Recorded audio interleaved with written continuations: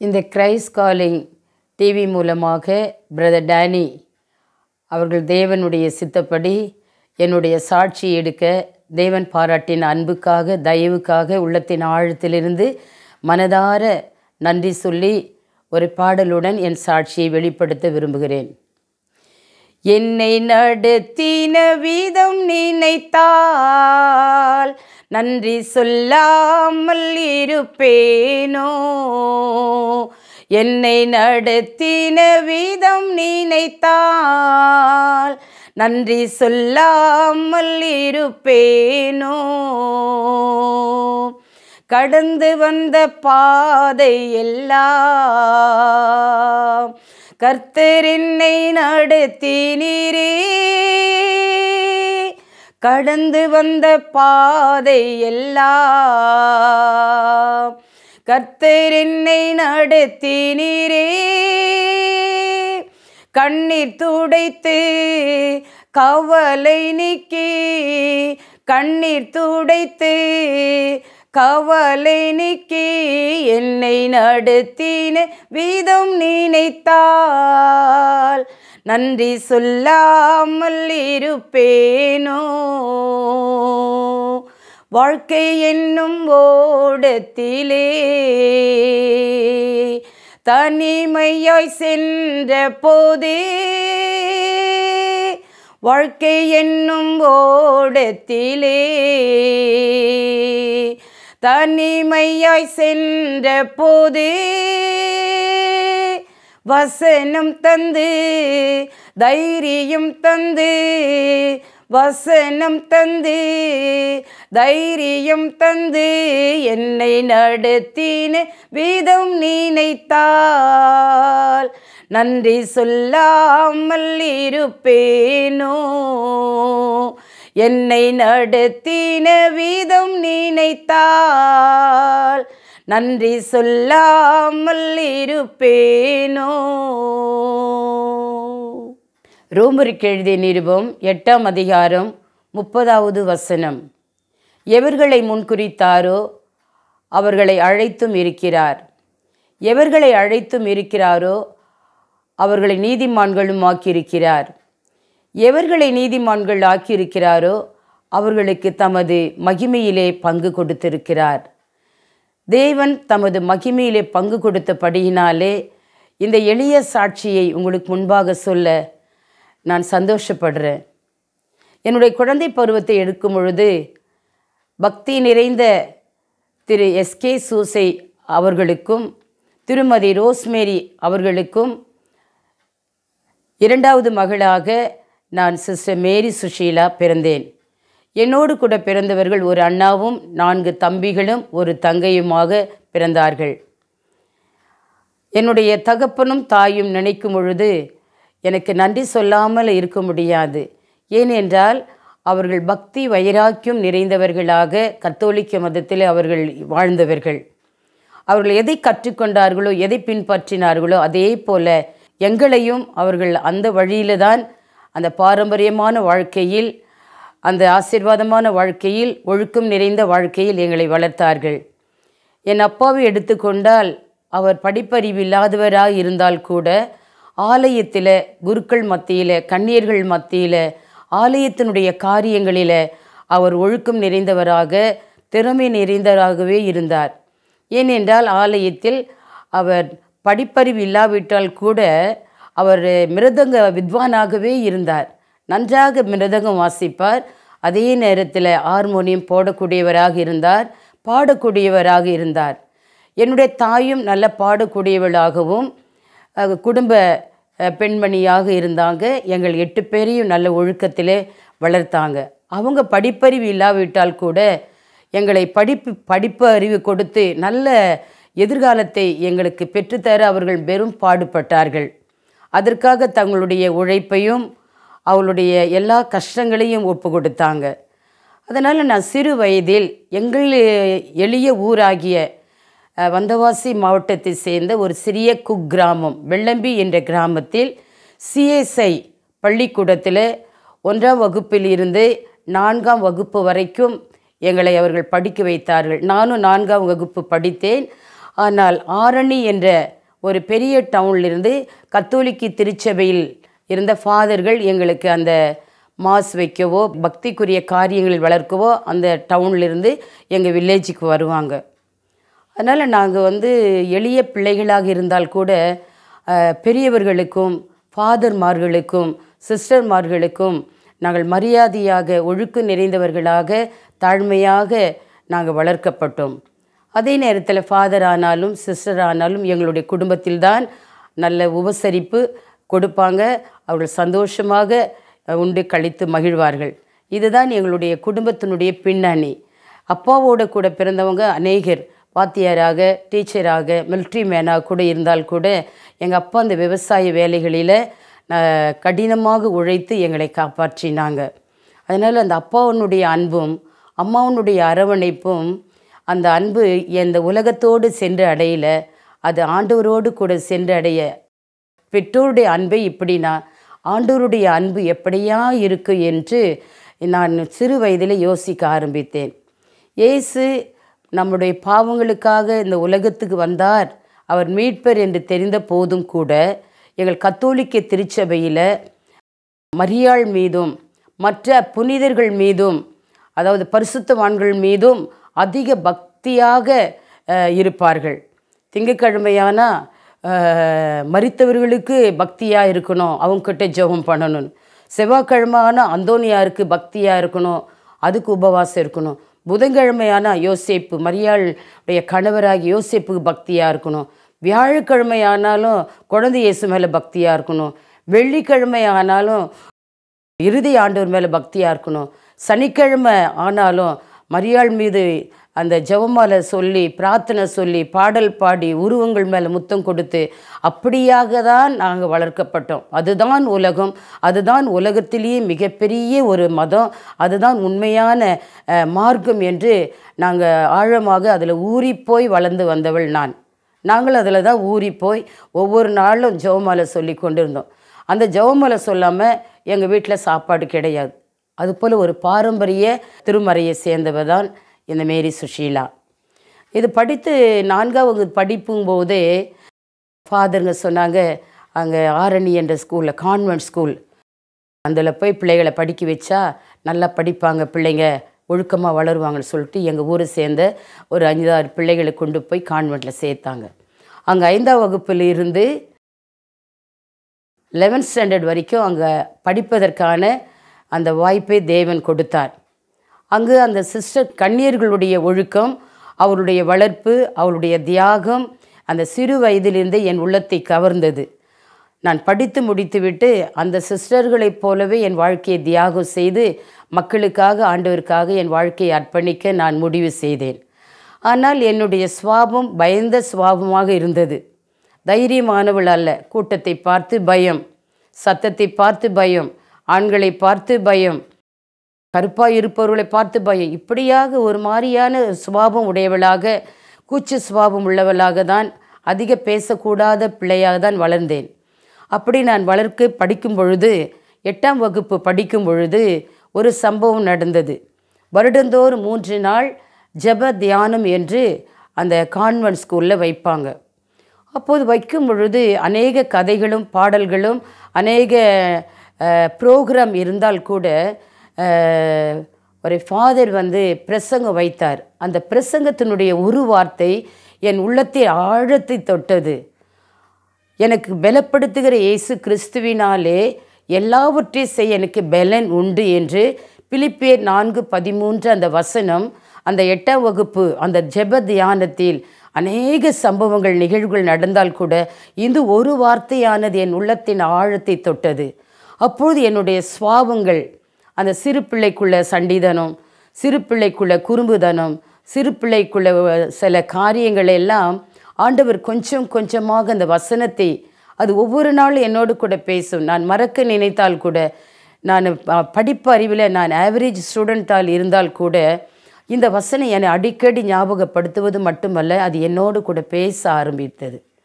நான் எட்டாம் வகுப்பு படிப்பதற்கு முன்பாகவே ஆடல் பாடல் நடனம் ரெண்டாவது வாலிபால். அந்த ஸ்கில்லில் நான் ரொம்ப க்யூட்டாக இருந்தேன். ஐ மீன் ரொம்ப திறமைசாலியாக நான் உருவாக்கப்பட்டேன்.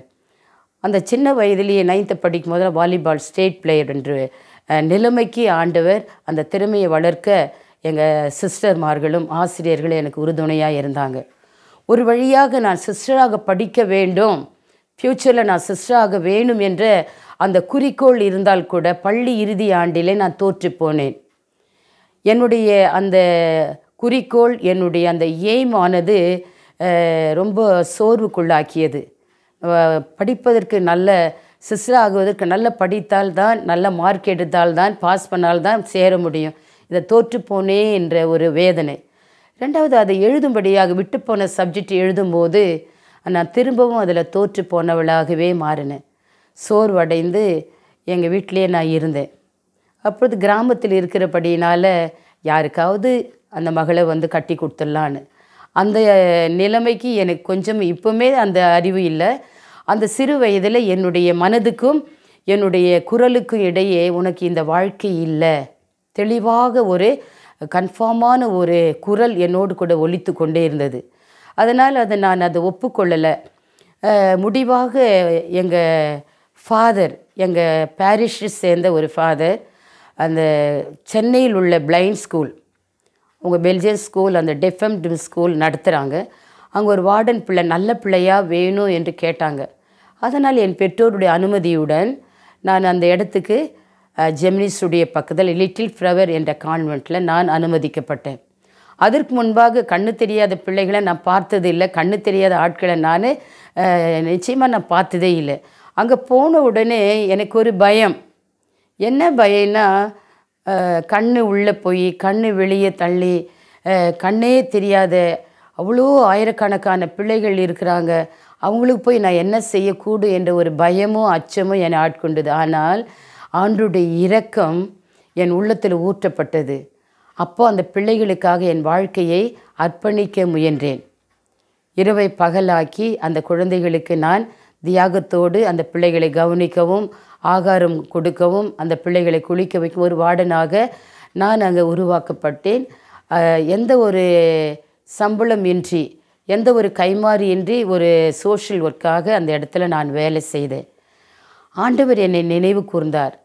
ஒரு நாள் அந்த பெல்ஜியம் சிஸ்டர் சிஸ்டர் யுவான் என்றவர்கள் என்னை கூப்பிட்டு என்னை குறித்து விசாரித்தார்கள். என்னுடைய கல்வி அறிவை குறித்து நான் தோற்று போனவளாக வெட்கப்பட்டவளாக அவங்க கிட்ட நான் சொன்னேன் பயப்படாத அந்த சப்ஜெக்டை நான் எழுத வைக்கிறேன்னு சொல்லிட்டு எனக்காக ஒரு ஆசிரியரை நியமித்து அந்த விட்டு போன மேக்ஸ் ஜப் சப்ஜெக்ட் எழுதி நான் பாஸ் பண்ணேன்.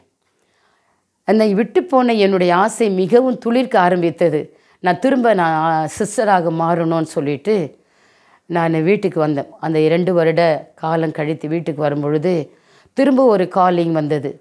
மயிலாப்பூர் சேர்ந்த அடைக்கல மாதா கான்வெண்ட்டில் ஒரு அட்டெண்டர் போஸ்ட்டு கவர்மெண்ட் போஸ்ட் இருக்குது. நல்ல பிள்ளையாக ஒருவரை வேணும்னு. திரும்பவும் எங்களுடைய பங்கு ஃபாதர் என்ன தெரிவு செய்து என்ன செய்தாங்க அனுப்பி வைக்க முயற்சி எடுத்தார். அப்போ ஒரு காரியம் எனக்கு ஒரு நடந்தது. என்னன்னா இந்த எதுலேயுமே நம்ம ஒரு காரியத்தில் ஒரு முன்னுக்கு வர முடியாத ஒரு தோய்வும் ஒரு தோற்றுப்போன ஒரு சூழ்நிலையில் நான் அன்னை மரியாள் கிட்ட நான் ஜெபம் பண்ணேன். ஒன்பது நாள் நவ நாள் என்று சொல்லி ஜெபம் பண்ணேன். ஆண்டவர் வசனத்தில் இப்போ தான் நான் கண்டு உணர்றேன். சங்கீதம் நாலு மூணு பக்தி உள்ளவர்களை ஆண்டவர் தமக்காக தெரிந்து கொண்டார் என்று. நான் வந்து யார் மேலே பக்தி வைக்கணும் எதன் மேலே பக்தி வைக்கணும் என்று தொடக்க காலத்தில் என்னுடைய குழந்தை பருவத்திலேயோ என் பள்ளி பருவத்திலோ அறிந்து கொள்ளவில்லை. ஆனால் பிற்காலத்தில் நான் ஆண்டவரை குறித்த அறிவு வரும்பொழுது தான் இதையெல்லாம் நான் ரீகால் பண்ணும் பொழுது பக்தி உள்ளவனை ஆண்டவர் தமக்காக தெரிந்து கொண்டார் என்று. அப்பொழுது நான் ஒரு சொற்பனம் பார்த்தேன். சொற்பனம் வந்து அது எந்த அளவுக்கு அது சரியானது என்று சொல்லறதுக்கு இல்லை. அந்த சொற்பனம் என் வாழ்க்கையில் நடந்தது. மிகப்பெரிய ஒரு ஏரோப்ளேன் எங்கள் வீட்டுக்கு முன்னாடி. அவ்வளோ பெரிய ஸ்பேஸ் கிடையாது. ஆனால் எங்கள் வீட்டுக்கு முன்னாடி அந்த ஏரோப்ளேன் லேண்டட் ஆகுது. அந்த ஃப்ரண்ட் போர்ஷன் திறக்கப்பட்டு என்னுடைய பெயர் சொல்லி அழைத்தாங்க. மேரி என்று அழைத்து கூப்பிட்டாங்க. நான் அந்த இடத்தை விட்டு அந்த ஏரோப்ளேனில் அமர்ந்து கொண்டேன். அந்த ஏரோப்ளேன் அப்படியே டேக்கப் ஆகி என்ன செய்து நான் கான்வெண்ட்டில் சேர போகிற அந்த இடத்துல பெரிய ஒரு கிரவுண்டில் லேண்டட் ஆகுது அப்போ அந்த ஃபாதர் எதற்காக என்னை அட்டண்டர் போஸ்ட்டுக்காக அனுப்பினார்? அதே இடம் அதே கிரவுண்டு அதே கட்டடம்.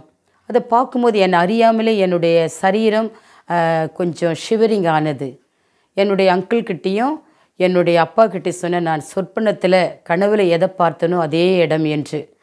அப்பொழுது என்னுடைய மாமா அங்கிள் சொன்னாங்க ஆண்டவர் ஏதோ ஒரு நோக்கத்துக்காக உன்னை கொண்டு வந்திருக்கிறாங்க அப்படின்னு சொல்லிட்டு ஜெபம் பண்ணி என்னை விட்டுட்டு போயிட்டாங்க.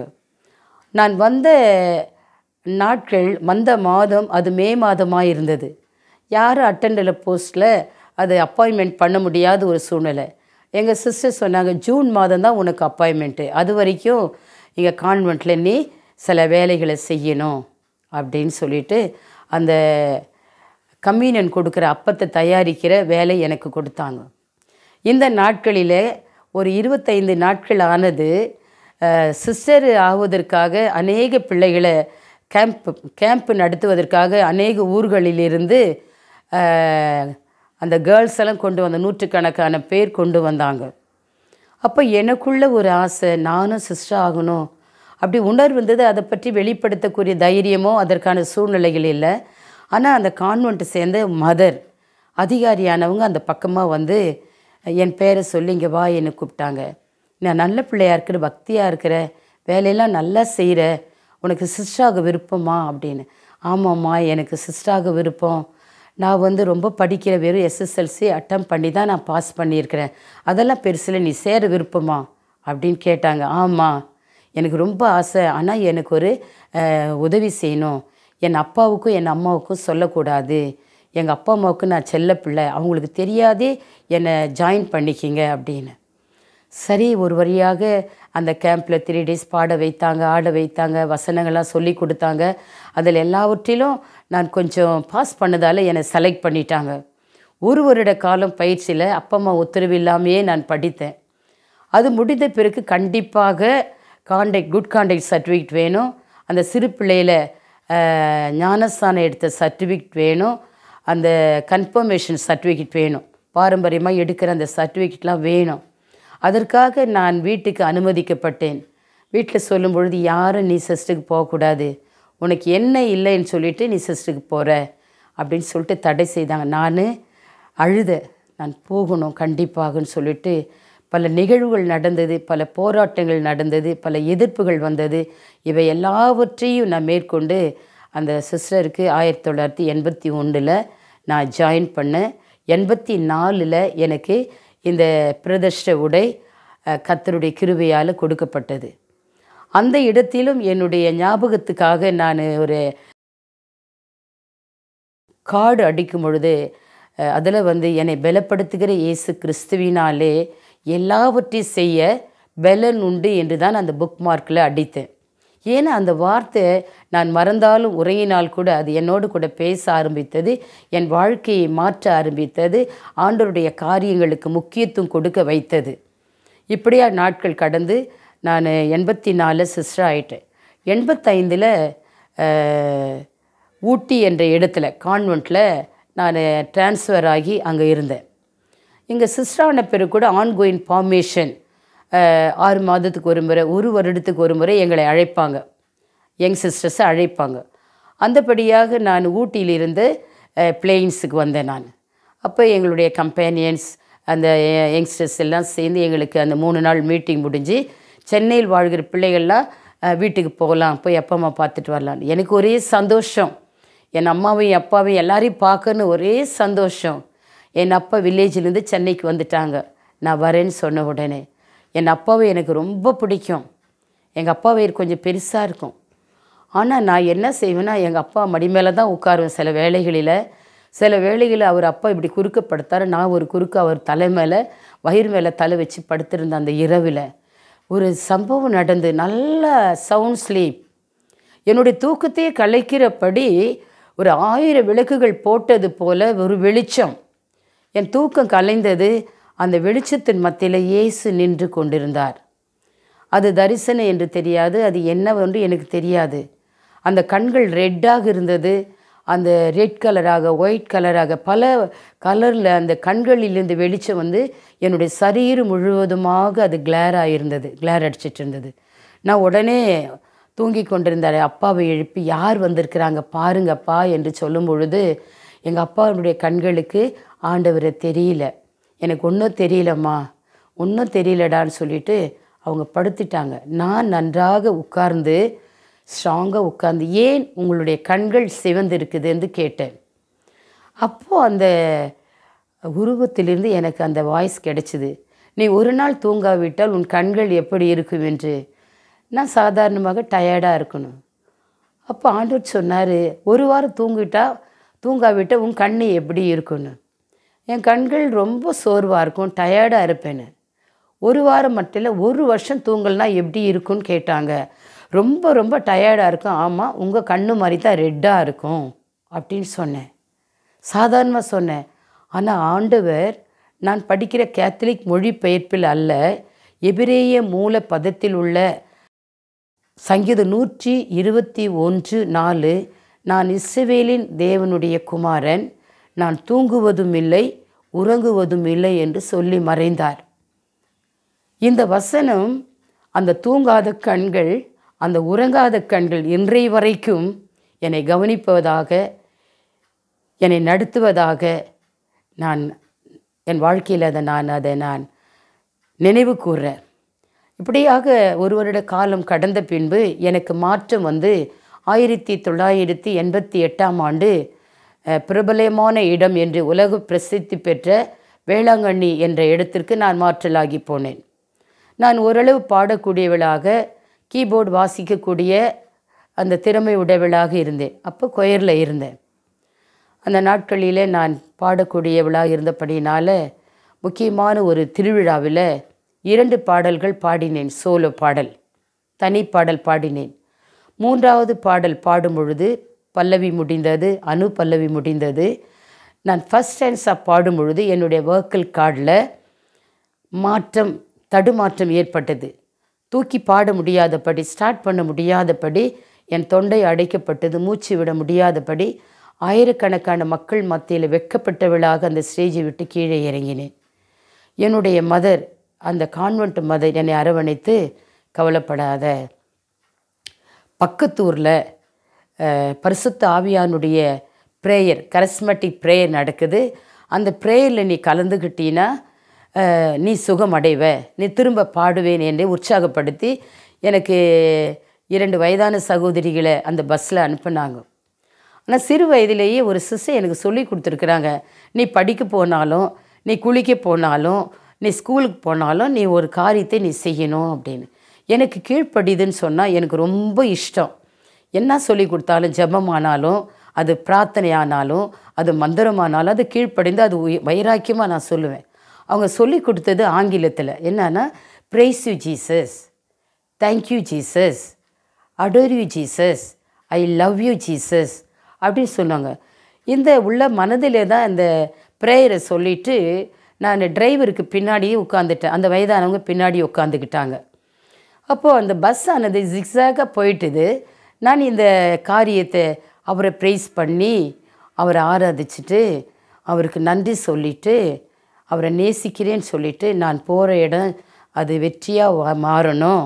என் தொண்டை நல்லாகணும் நான் திரும்ப வந்து பாடணும். ஏன்னா என் பாடல் அநேக கேசட்டில் எடுத்துகிட்டு போகிறாங்க இல்லையா? நான் திரும்ப பாடணும். என்னை பத்திரமா கூட்டிகிட்டு போய் கூட்டிகிட்டு வரணும்னு சொல்லிட்டு ஒரு சிறிய ஜெபம் தான் என் மனதளவில் நான் ஜெபித்தேன் அந்தோ பரிதாபம் இந்த பஸ் ஜிக்ஸாகாக போகும்போது வளைஞ்சி போகும்போது நான் என்ன செய்தேன்? பொத்தேன்று ஃபுட்போர்டில் விழுந்துட்டேன். அந்த டிரைவர் பிரேக் பண்ணிவிட்டு எழுந்து உட்காருமா அப்படின்னாரு. நான் உட்காந்துட்டு ஆண்டவர்கிட்ட மனதில் சண்டை போட்டேன். நீங்கள் நல்லா ஓட்ட சொன்னேனே நீங்கள் நல்லா சரியாக ஓட்டலையா? நான் ஜெபம் பண்ணினேன் உங்களை ப்ரைஸ் பண்ணேன் உங்களுக்கு தேங்க்ஸ் சொன்னேன் உங்களை ஆராதிச்சேன் உங்களை நேசிக்கிறேன்னு சொன்னேன். நீங்கள் பத்திரமா என்னை கொண்டு போகாமல் வண்டி சரியாக ஓட்டாமல் என்னை கீழே தள்ளிட்டீங்களா?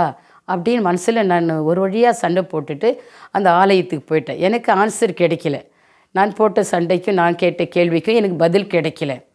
அந்த ஆலயத்துக்கு போனால் எனக்கு நான் மிஸ்பிளேஸ் பண்ணிட்டேன். ஏன்னா வேகமாக கை தட்டுறாங்க. சில பாஷையெல்லாம் பேசுகிறாங்க அந்த ஜெபமும் பாடலும் எனக்கு அது தூரமாக இருந்தது அனுபவம் இல்லை.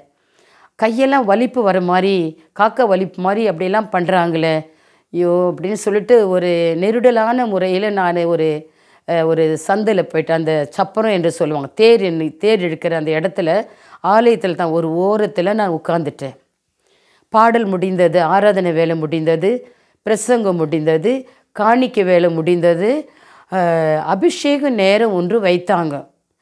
அப்போ அபிஷேகம் என்ற நேரத்தில் எனக்கு ஒன்றும் புரியல ஆலயம் தெரியல கொயர் தெரியல பிரசிங்கியார் தெரியல மக்கள் தெரியல எனக்கு முன்பாக மிகப்பெரிய ஒரு வெண்திரையானது காணப்பட்டது. கொஞ்ச நேரத்தில் நான் சிறு பிள்ளையிலிருந்து அந்த வயது வரைக்கும் உள்ள ஏறக்குறைய எனக்கு ஒரு இருபத்தி நாலு வயது இருக்கும். அப்போது அந்த சிறு வயதிலிருந்து அந்த நாள் வரைக்கும் நான் செய்த குறைகள் குற்றங்கள் பாவங்கள் மீறுதல்கள் அக்கிரமங்கள் கீழ்ப்படியாமைகள். அது சிறிய தவறோ பெரிய தவறு இல்லை. அது எல்லாம் பெரிய லெட்டர்ஸில் பிளாக் லெட்டர்ஸில் அப்படியே வந்துகிட்டே இருந்தது. ஏன்னா நான் நிறைய சினிமா பாடல் பாடக்கூடியவளாக இருந்தேன். யாருக்கா பர்த்டே வந்தால் அந்த சினிமா பாடலை ஹார்மோனியத்தில் நாங்கள் மெட்டு கட்டி பாடுவோம். போட்டி போடும்போது சினிமா பாடல் அந்த சினிமாவுக்கு நடனம் ஆடுறது இதெல்லாம் நான் செய்து கொண்டிருந்தேன். உடுத்தியது வெள்ளை உடுப்பாக இருந்தால் கூட என்னுடைய மனதில் இது தவறு என்று இது ஆண்டவருக்கு தேவனுக்கு பிரியம் இல்லை என்று தெரியல. இது திறமை வளர்க்கக்கூடியது என்றும் இது வந்து ஒரு என்டர்டைன்மெண்ட்ஸ் என்று தான் அந்த பாவத்தை தண்ணீரைப் போல குடித்து கொண்டிருந்தேன். பெரியவர்களுக்கு பயந்து எதையாவது கேட்டால் பொய் சொல்லிடுவேன். நான் பிற்காலத்தில் நான் வேதத்தை படிக்கும் பொழுது அந்த கற்பனைகளை படிக்கும் பொழுது பத்து கட்டில் நீயோ பொய் சொல்லாதிருப்பாயோ என்று. வேறொரு மொழிபெயர்ப்பில் நீதிமொழி பத்தொன்பது ஒன்பதில் பொய் சாட்சிக்காரன் ஆக்கி நீக்கி தப்பான் பொய்களை பேசுகிறவன் நாசம் அடைவான் என்று. என் உள்ளம் அதிர்ந்தது. அவ்வளோ பரிசுத்தமுள்ள தேவனுக்கு விளையாட்டாகவோ சாதாரணமாகவோ நிஜமாக பொய்களை பேசுவது அது எவ்வளோ பெரிய பாவம் என்று நான் உணர்ந்தேன். ஆனால் கூட அந்த பாவங்கள் அப்படியே போய்க்கொண்டே இருந்தது. கம்ப்யூட்டரில் போய்க்கொண்டே இருந்தது. நான் இது விளையாட்டாக எடுத்துக்கிட்டேன். அவ்வளோ உணரலை. இது ஒரு பொழுதுபோக்கு. இது ஒரு என்டர்டைன்மெண்ட்ஸ் சினிமா பார்ப்பது பாடல் பாடுவது என்று. அது திறமை வளர்க்கக்கூடியது என்று இருந்தேன்.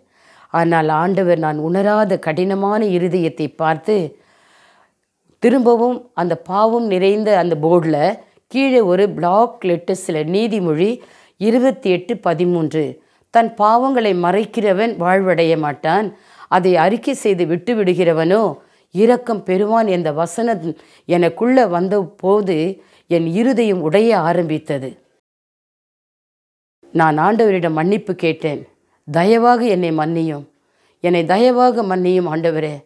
உன் பரிசுத்துக்கு எதிராக உமது அன்புக்கு எதிராக உமது கற்பனைகளுக்கு எதிராக நான் செய்த குறைகளையும் குற்றங்களையும் பாவங்களையும் மீறுதலையும் கீழ்ப்படியாமை எனக்கு மன்னியும் என்று கேட்ட பொழுது அவருடைய மகா பெரிய இரக்கம் எனக்குள்ளே கடந்து வந்தது.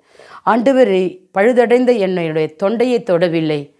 அவலமான எனது ஆத்மாவை தொட்டு மிகப்பெரிய ஒரு மனம் திரும்புதலை ஆண்டவர் கொடுத்தார். அல்லேலூயா. நான் மிகவும் ஆண்டவருக்கு நான் நன்றி சொல்கிறேன் தன் பாவத்தை மறைக்கிறவன் வாழ்வடைய மாட்டான். நான் அறிக்கை செய்தபடியினால் அவருடைய மகா பெரிய இறக்கு எனக்குள்ளே கடந்து வந்து மிகப்பெரிய ஒரு இருள் மிகப்பெரிய ஒரு பாரம் என்னை விட்டு அகன்றது. அந்த நாள் ஆயிரத்தி தொள்ளாயிரத்தி எண்பத்தெட்டு பிப்ரவரி மாதம் நான்காவது தேதியாக இருந்தது. நான் கான்வெண்ட்டுக்கு கடந்து போனேன். என் மதர் நீ சுகம் அடைந்தியா என்று? நான் அடையலைன்னு சொல்லி ஒரு சைனில் கையில் கையில் காட்டின தொண்டை நல்லா திரும்பவும் அந்த ப்ரேயருக்கு போகுங்க. மூணு நாள் ப்ரேயரில் நீ திரும்ப போ. நல்லாயிடுவேன் அதே அபிஷேக நேரத்தில் ஒன்றுமே தெரியல. கொயர் தெரியல பிரசிங்கர் தெரியல ஆலயம் தெரியல மக்கள் தெரியல. அபிஷேக நேரத்தில் விண்ணுக்கும் மண்ணுக்கும் பிரம்மாண்டமான ஒரு மலை காணப்பட்டது. அந்த மலை பீக்கிலிருந்து உச்சியிலிருந்து அப்படியே வழிந்தோடுகிற ஒரு தண்ணி. அலசடியாக இல்லை. அது மெதுவாக வந்து என்னை நனைத்தது. ஐ வாஸ் கெட்டிங் க்ளூமிங் எனக்குள்ள ஒரு குளிர்ச்சியான விவரிக்க முடியாத சந்தோஷமும் ஒரு குளிர்ச்சியான சூழ்நிலையை நான் அனுபவித்தேன். அது என் மனதுக்கு இதமாக சந்தோஷமாக இருந்தது. அது விவரிக்க முடியாத ஒரு வார்த்தையால் வடிவமைக்க முடியாத ஒரு சந்தோஷம் எனக்குள்ளே அது கொள்ளை கொண்டது. என் தொண்டையில் அன்று மாற்றமில்லை மூன்றாவது நாள் கடந்து வந்தேன். ஆண்டவர்கிட்ட கெஞ்சினேன். This is a last day ஆண்டவரே நான் நல்ல பிள்ளையாய் நான் மனம் மாறிட்டினேனே. என்னை தொட்டு குணமாக்கு என்று என் உள்ளம் கதறியது. அப்பொழுது அந்த அபிஷேக நேரத்தில் என்னை அறியாமலே என்னுடைய உதடுகள் என் நாவு குளர ஆரம்பித்தது. என் கைகளும் சரீரமும் அப்படி ஷிவரிங்காக இருந்தது குளிர ஆரம்பித்தது. அது பிப்ரவரி மாதம் குளிரான நாட்கள் அல்ல அந்த குளிர் என் மனதுக்கு இதமாக இருந்தால் கூட என் கைகளும் கால்களும் ஆரம்பித்தது அதே நேரத்தில் ஒரு சிறு பிள்ளை போல பிதற்றினேன். லலலலலா என்று பிதற்றினேன். ஒரு மெச்சூர்டான சிஸ்டர் இப்படி பிதற்றுகிறேனே என்று நான் தலையில் போட்டிருக்கிற அந்த முக்காட்டை எடுத்து என் வாயை நான் மூடிக்கொண்டேன். என் கைகளை இரண்டு கால்களுக்கு அடியிலே வைத்துக்கொண்டு நான் அடக்கினேன். என்னை கண்ட்ரோல் பண்ணினேன் என் கைகள் ஆடக்கூடாது. இந்த உதடுகள் பிதற்றக்கூடாது. இந்த வார்த்தை ஸ்டாண்டர்டாக வரல. நம்ம ஒரு வழியாக நம்ம ஒரு செம்மி கிராக்காக மாறிடுமோ என்ற பயத்தில் இருந்தேன். ஆனால் அதே போர்டில் ஆண்டவர் திரும்பவும் வசனத்தை போட்டார். ஏசியா இருபத்தி எட்டு பதினொன்று பரிகாச உதடுகளினாலும் அந்நிய பாஷைகளினாலும் இந்த ஜனங்களோடு கூட பேசுவேன் என்று. அப்பொழுதுதான் நான் உணர ஆரம்பித்தேன் நான் பேசுவது குழந்தைத்தனமாக இருந்தாலும் பிதற்றுவது போல இருந்தாலும் இது அந்நிய பாஷை என்று ஆண்டவர் வசனத்தில் போடுறார் என்று விசுவாசித்துட்டு இருக்கும் பொழுதே பெத்தேல் என்ற வார்த்தையோடு நான் கீழே சரிந்து விழுந்தேன். ஏறக்குறைய மூன்று மணி நேரம் விவரிக்க முடியாத வெளிச்சத்தில் நான் விழுந்து கிடந்தேன். என்னை குறித்த அந்த பிரசங்கி யார்? இந்த மகளை நான் தாயின் கர்ப்பத்திலே நான் தெரிந்து கொண்டேன். பிடுங்கவும் இடிக்கவும் அழிக்கவும் கவிழ்க்கவும் கட்டவும் நாட்டவும். எரேமியா பத்து ஒன்று பத்து பிரகாரமாய் இந்த மகளை நான் தெரிந்து கொண்டேன் ஜாதிகளுக்கு தீர்க்கதரிசியாக.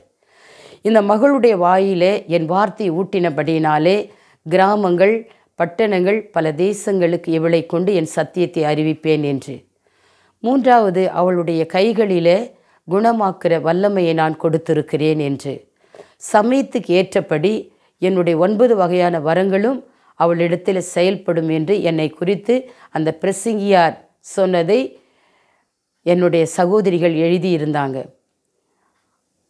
அந்த ஜெபம் முடிந்த பிறகு இந்த மூன்று மணி நேர வெளிச்சத்திலிருந்து நான் எழ ஆரம்பிக்கும் பொழுது என் மேலே ஃப்ராக்ரன்ஸ் ஒரு பரிமள தைலம் ஊற்றப்பட்டு என்னை சுற்றி அவ்வளோ வாசனையாக ஒரு சப்போர்ட்டிவாக யாரோ ஒருவர் எனக்கு துணையாக இருப்பது போல் நான் ஃபீல் பண்ணேன்.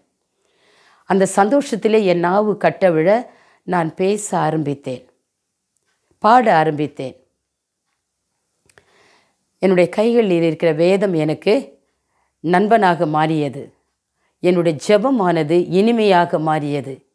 இரவை பகலாக்கி எவ்வூரும் உலகமும் எங்களுடைய சகோதரிகளும் உறங்கிக் கொண்டிருக்கும்போது என்னுடைய இருதயமானது ஜெபிக்கணும் ஜெபிக்கணும் என்ற ஆவியானவர் என்னை தூண்டி கொண்டே இருந்தால் என்னை தொட்டு அந்த நாவு இன்றைய வரைக்கும் எப்பொழுதெல்லாம் தனிப்பட்ட நேரத்தில் ஜெபிக்க போகிற போகிறேனோ அப்பெல்லாம் அந்த நாவு துடிக்க ஆரம்பிக்கும். அன்னைய பாஷைகள் கடந்து வரும். தரிசன வரங்கள் வரும். இப்படியாக நாட்கள் நகர்ந்தன. நான் வேதத்தை படிக்கும் பொழுது என் இருதயத்தை கொள்ளை கொண்ட சில வசனங்களை உங்களுக்கு முன்பாக சொல்லிக்கொள்ள நான் விரும்புகிறேன். ஆதியாகும் ஐந்தாம் அதிகாரம் இருபத்தி நாலாவது வசனத்தில் ஏனோக்குனுடைய ஆயுசு வருஷங்கள் முன்னூற்றி அறுபத்தி ஐந்து முந்நூறு ஆண்டுகள் ஏனோக்கு தேவனோடு கூட சஞ்சரித்தார் என்று. அதே ஆதியாகும் ஆறு ஒன்பதில் அந்நாட்களிலே நோவா நீதிமானாய் இருந்தார் அவரும் தேவனோடு கூட சஞ்சரித்தார் என்று. யாத்திரையாகும் முப்பத்தி மூன்றாம் அதிகாரம் பதினொன்றாம் வசனம். ஒரு நண்பனோடு கூட பேசுவது போல மோசேயோடு கூட தேவன் முகமுகமாக பேசினார் என்று. எண்ணாகவும் பன்னிரெண்டு எட்டில் மறைப்பொருளாக அல்ல பிரதட்சியமாக மோசேயோடு கூட தேவன் பேசினார் என்று. எனக்கு ஒரே ஆச்சரியம். வானத்தின் பூமி உண்டாக்கின தேவன் ஒரு சராசரி மனுஷனோடு நடப்பாரா? அவன் தேவனோடு நடக்கக்கூடுமா? மத்திய இருபத்தி மூணு முப்பத்து அஞ்சில் வானம் பூமி அழிந்தாலும் அவருடைய வார்த்தை அழியாது என்று சொல்லப்பட்டு இருக்கிறபடினாலே அவர் நடக்கக்கூடுமானால் ஏனோக்கும் நோவாவும் மோசேயும் ஆண்டோரோடு கூட பேச நடக்க ஆரம்பிக்கும் பொழுது ஏன்? ஒய் நாட் நான் நடக்கக்கூடாதா? தேவன் என்னோடு கூட பேசுவாரா? பேசுவார்.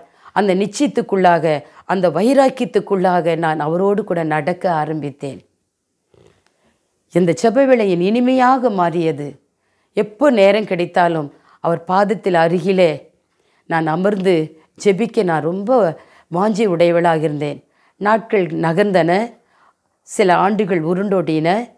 படிப்படியாக ஒரே நேரத்தில் அல்ல படிப்படியாக என்னுடைய அறிவுக்கு ஏற்றபடி என் அனுபவத்துக்கு ஏற்றபடி ஆண்டவர் என் சத்தியத்தை எனக்கு சொல்ல ஆரம்பித்தார். நான் எந்த சமயத்தினரையோ எந்த வழிபாடு செய்கிறவர்களையோ எந்த டினாமினேஷனையோ குறை சொல்ல அல்ல. இந்த சத்திய தேவன் சத்திய ஆவியானவர் சத்திய வசனத்தின் மூலமாய் கத்தோலிக்க திருச்சபையினுடைய உபதேசங்களுக்கும் வேதத்தில் உள்ள சகல சத்தியங்களுக்கும் இடையே உள்ள வித்தியாசத்தை எனக்கு சீர்தூக்கி பார்க்கக்கூடிய ஒரு அனுபவத்தை கொடுத்தார் வேதத்தை படிப்பதின் மூலமாக. அதில் ஒன்றுதான் யாத்திரையாகமும் இருபதாவது அதிகாரத்தில் மேலே வானத்திலும் கீழே பூமியிலும் ஆழத்தில் சமுத்திரத்திலும் எனக்கு ஒப்பான சுரூபத்தையோ ஓவியத்தையோ நீ உண்டாக்க வேண்டாம். அதை நீ நமஸ்கரிக்க வேண்டாம். நீ அதை செய்வாயானால் மூன்றாம் நான்காம் தலைமுறை வரைக்கும் நான் உன்னை விசாரிப்பேன் என்றும் என் கற்பனைக்கு பயந்து அன்பு செய்து அதை கடைபிடிக்கும் பொழுது ஆயிரம் தலைமுறை வரைக்கும் உன்னை ஆசீர்வதிப்பேன் என்று. அப்போ தண்டனை முக்கியமா? ஆயிரம் ஆண்டுகள் ஆசீர்வாதம் முக்கியமா என்று எவால்வேஷன் பண்ணேன். ஆனால் தேவன் அவர் எங்கு வியாபித்திருக்கிறார்? அவர் தாமாகவே இருக்கிறார். அவருக்கு உருவம் இல்லை என்று ஆறு லட்சண மந்திரங்களில் கத்தோலிக்க திருச்சபையில் சொல்லிக் கொடுத்த மந்திரங்களில் ஒன்றுதான். சர்வேஸ்வரன் தாமாய் இருக்கிறார். அவருக்கு துவக்க முடிவும் இல்லை. அவர் எங்கும் வியாபித்திருக்கிறார். அவர் எல்லாவற்றுக்கும் ஆதிகாரணமாக இருக்கிறார். இந்த மந்திரத்தினுடைய ஆழங்களே எனக்கு சத்தியத்தை வெளிப்படுத்தியது. சங்கீதம் நூற்றி பதினைந்தும் சங்கீதம் நூற்றி முப்பத்தி ஐந்தும் அதிலுள்ள வசனங்களை பார்க்கும் பொழுது அந்த உருவங்களுக்கு கண் உண்டு பார்ப்பதில்லை காது உண்டு கேட்பதில்லை வாய் உண்டு பேசுவது இல்லை நாசி உண்டு சுவாசம் இல்லை கைகள் உண்டு தொடுவதில்லை கால்கள் உண்டு நடப்பதில்லை. அவற்றை செய்தவர்களும் அவற்றை நம்புகிறவர்களும் அவைகளுக்கு ஒப்பானவர்கள் என்று. நான் இருப்பது கத்தோலிக்க திருச்சபை. நான் வழிபாடு செய்வது வேளாங்கண்ணி திருத்தலத்தில். மரியாளை முக்கியத்துவப்படுத்துகிற அது ஒரு திருத்தலமாக இருந்தது. இயேசு ரட்சகர் என்று தெரிந்தால் கூட மரியாளுக்கு மரியாதையும் வணக்கமும் அதிகமாய் செய்கிற இடமாக இருந்தபடியினால அதில் ஊறினேன் அதை கடைப்பிடிக்க முடியாதபடி என் இருதயம் தத்தளித்ததானால் எது சத்தியம் என்று நான் உணர ஆரம்பித்தேன். இரண்டாவதாக யோவான் எழுதிய சுவிசேஷம் மூன்றாம் அதிகாரம் பதிமூன்றாவது வசனத்தில் பரலோகத்தில் இருந்தவரும் பரலோகத்திலிருந்து இறங்கி வந்தவரும் பரலோகத்துக்கு ஏறி சென்றவருமாக இயேசு கிறிஸ்துவை தவிர வேறு ஒருவருமே இல்லை. அப்படி என்றால் கத்தோலிக்க திருச்சபையில் ஆயிரத்தி எட்நூற்றி ஐம்பத்தி நாலாம் ஆண்டு பத்தாம் பத்திநாதர் மரியாள் ஆன்ம சரீரோடு பரலுகுத்து எடுத்துக்கொள்ளப்பட்டார்கள் என்று ஒரு பிரகடனம் என்ன செய்தாங்க அறிவித்தாங்க இந்த உலகத்துக்கு. ஆனால் வேதம் வேறொரு இடத்துல ஒன்று குருந்தியர் பதினைந்தாம் அதிகாரம் ஐம்பதாம் வசனத்தில் மாமிசமும் இரத்தமும் பரலோகத்தை சுதந்திரிப்பது இல்லை என்று. அப்பொழுது மரியாள் ஆத்ம சரீரத்தோடு பரலோகத்துக்கு போல ஒரு இலைப்பாறுதலுக்குள்ள ஒரு மேலான பரதேசில் இருப்பார்கள் என்று நான் அறிய வந்தேன். இதை சொல்லிக்கொள்ளும் பொழுது சில எதிர்ப்புகள் வரும். அதை பற்றி எனக்கு இல்லை. சத்தியத்தில் என்ன இருக்கிறதோ அதை தைரியமாக துணிவாக நான் ஆண்டவருக்கு சாட்சியாக சொல்ல நான் விரும்புகிறேன் அப்போ மரியாளுக்கு செய்கிற வழிபாடு தவறா? இல்லை. மரியாள் எனக்கு சொல்லிக் கொடுத்த மூலமாக மரியாளை குறித்து வேதம் சொல்லுகிற மூலமாக நான் அறிய வந்தேன். தூதனானவன் மரியாள் வீட்டில் பிரவேசித்து அந்த கண்ணிகிடம் அருள் நிறைந்தவளே வாழ்க. அதாவது கிருபை பெற்றவளே வாழ்க. ஆண்டவர் உம்முடனே. நீ ஒரு குமாரனை பெற்றெடுப்பாய். அவருக்கு இம்மால் என்று பெயரிடுவாய். அவர் பெரியவராயிருப்பார் என்று. மரியாளுக்குள்ள ஒரு சரியான நியாயமான கேள்வி இருந்தது. அவள் கண்ணிகை கணவனை அறியாத நான் எப்படி நான் ஒரு குழந்தையை பெற்றெடுக்கக்கூடும் என்று? அப்பொழுது அந்த தேவன் சொல்கிறாள் மனிதனால் முடியாதது தேவனால் முடியும் என்று சொன்ன உடனே மரியாள் சொல்லுகிற வார்த்தை இதோ ஆண்டவருடைய அடிமை உம்முடைய வார்த்தையின்படி எனக்கு ஆக கடவுது. அப்போது யார் ஆண்டவர்?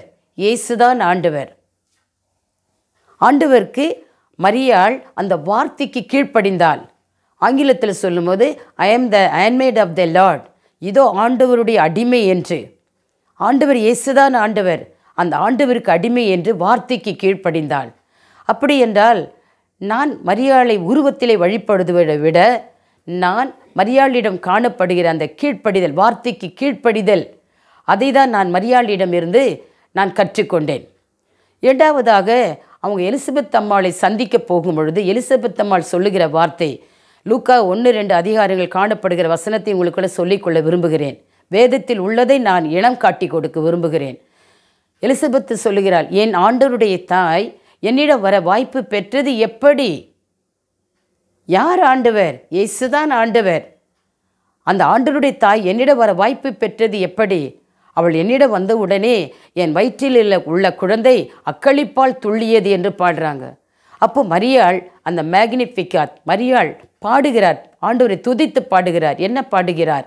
அந்த கேத்ரிக் மொழிபெயர்ப்பில் என் ஆன்மா ஆண்டவரை ஏற்றி போற்றுகிறது. என் மீட்பராம் கடவுளை நினைந்து என் இதயம் களி கூறுகிறது என்று. அப்போ மகள் ஒரு துதிப்பவளாக மரியாள் தேவனை மேன்மைப்படுத்துபவளாக ஆண்டவரை உயர்த்துகிறவளாகவே அந்த பாடலிலே காணப்படுகிறது. அதே போல் நான் மரியாளிடம் கற்றுக்கொண்ட இரண்டாவது பாடம் என்ன? மரியாள் ஆண்டவரை ஏத்தி போற்றி அவள் புகழ்ந்தது போல நான் ஆண்டவரை துதிக்க வேண்டும் அவரை உயர்த்த வேண்டும் அவர் நன்மைகளை பறைசாற்ற வேண்டும் என்று அன்னை மரியாளிடமிருந்து நான் கற்றுக்கொண்டேன். ஆனால் உருவத்தில் அவர்களை வணக்கம் செய்ய நான் நான் தூரமானேன். மூன்றாவது காரியம் காண ஒரு திருமணத்தில் ரசம் தீர்ந்தது. மரியாள் இயேசுவிடம் சென்று மகனே ரசம் தீர்ந்தது என்று. இயேசு சொல்கிறார் ஸ்திரியே இன்னும் என் வேலை வரவில்லை. ஆனாலும் கூட ஒரு யூதன் நியாயப்பிரமாணத்தின்படி பெற்றோருக்கு கீழ்ப்படிய வேண்டும். அந்த குறைகளை நிறைவாக்க வேண்டும். ஆகவே மரியாள் என்ன செய்தாள்? இயேசுவிடம் சொல்லிவிட்டு அவங்க வெறுமனே போகல. ஒரு காரியத்தை சுட்டி காண்பித்தார் பணியாட்களிடம். இயேசு உங்களுக்கு என்ன சொல்லுகிறாரோ அதன்படி செய்ய வேணும் என்று. எனக்கு தொடக்கத்தில் அது புரியல. ஆனால் ஆவியானவர் எனக்கு சகலத்தின் குறித்து ஞாபகப்படுத்தினார். இயேசு சொல்வது வெறும் அந்த கச்சாடிகளிலே தண்ணீர் ஊற்று என்று மட்டும் சொல்லலை. வேதத்தில் என்ன சொன்னார்? நான் யோவான் பதினாலு ஆறு நானே வழியும் நானே சத்தியமும் நானே ஜீவனுமாய் இருக்கிறேன் என்று. யோவான் பதினைந்தில் நானே திராட்சை செடி நீங்கள் அதன் கிளைகள் என்று. இன்னும் சொல்லு போனால் உயிர்த்தெழுதலும் ஜீவனும் நானே. யோவான் பத்த நானே நல்ல மேய்ப்பனாய் இருக்கிறேன் என்று. நானே நானே என்று. வேறு உலகத்தில் எந்த கொம்பனும் சொல்ல முடியாத ஆழமான சத்தியத்தை நானே வழி. நானே சத்தியம் நானே ஜீவன்.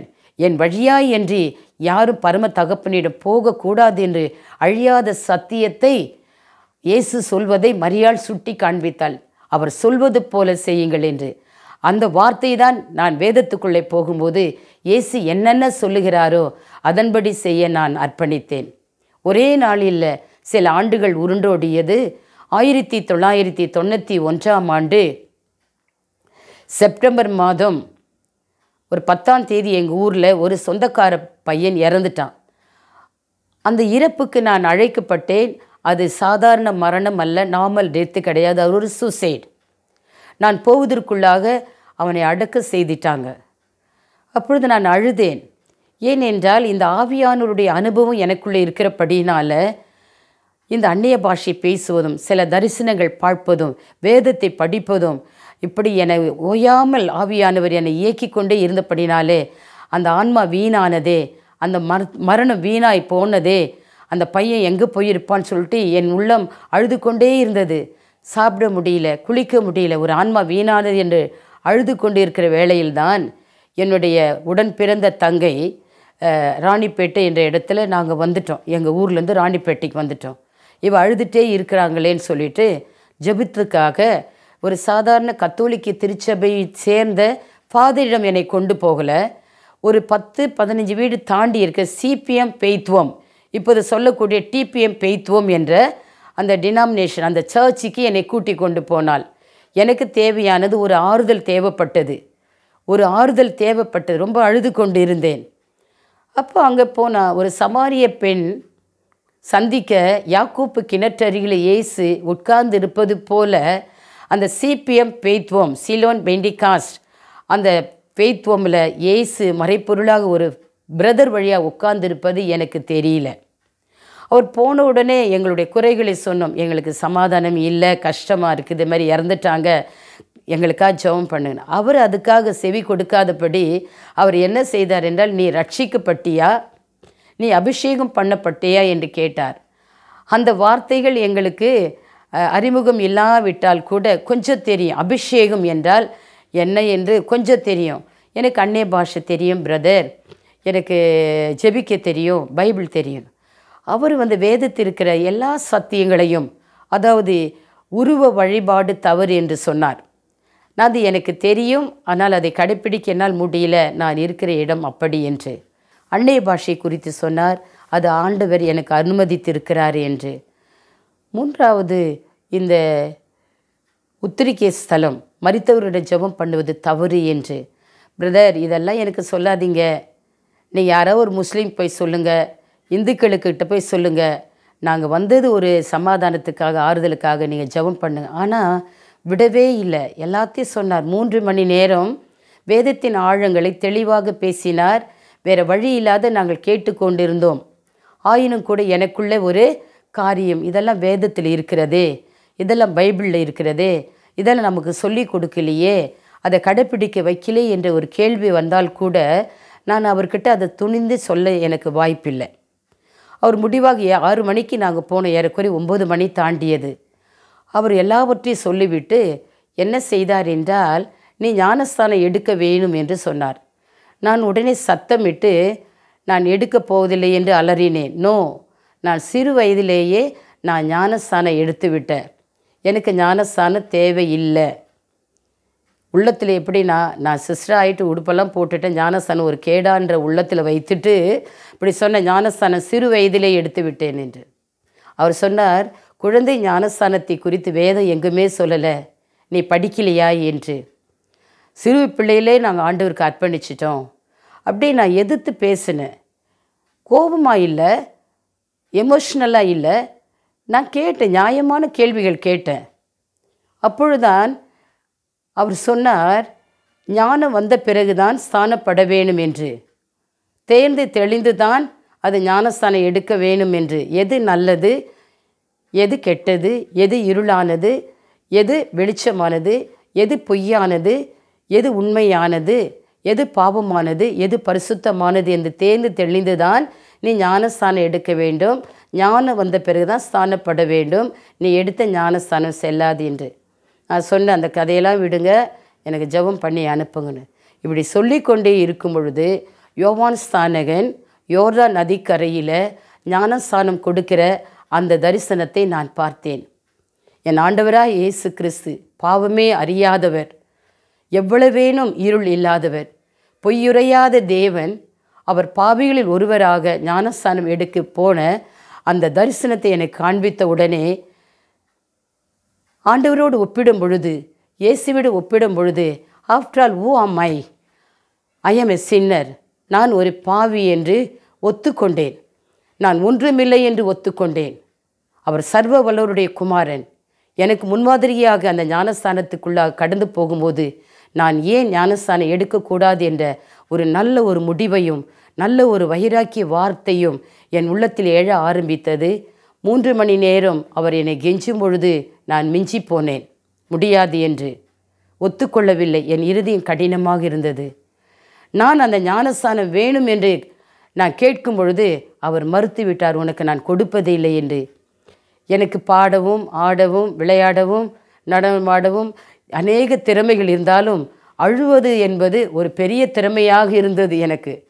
யார் என்ன சொன்னாலும் உடனே அழுவேன். எங்கள் ஊரில் யாராவது இறந்துட்டா முத ஆளாக நான் தான் போய் அழுவேன். ஏன்னா ஸ்கூலுக்கு கட்டடிக்கணும் நான் போய் அழுவணும். அதுதான். எனக்கு இருக்கிற அந்த ஒரே திறமை வைத்துக்கொண்டு ஓ என்று ஆரம்பித்தேன். அழ ஆரம்பித்தேன். தேம்ப ஆரம்பித்தேன். எனக்கு அந்த ஞானஸ்தானம் வேணும் என்று கெஞ்சினேன். அவர் எவ்வளவேன்னு எதிர்பாராத அந்த பிரதர் என்ன செய்தார் போய் உங்கள் மாற்று வஸ்திரங்களை எடுத்துட்டு வாங்கன்னு சொன்னாங்க.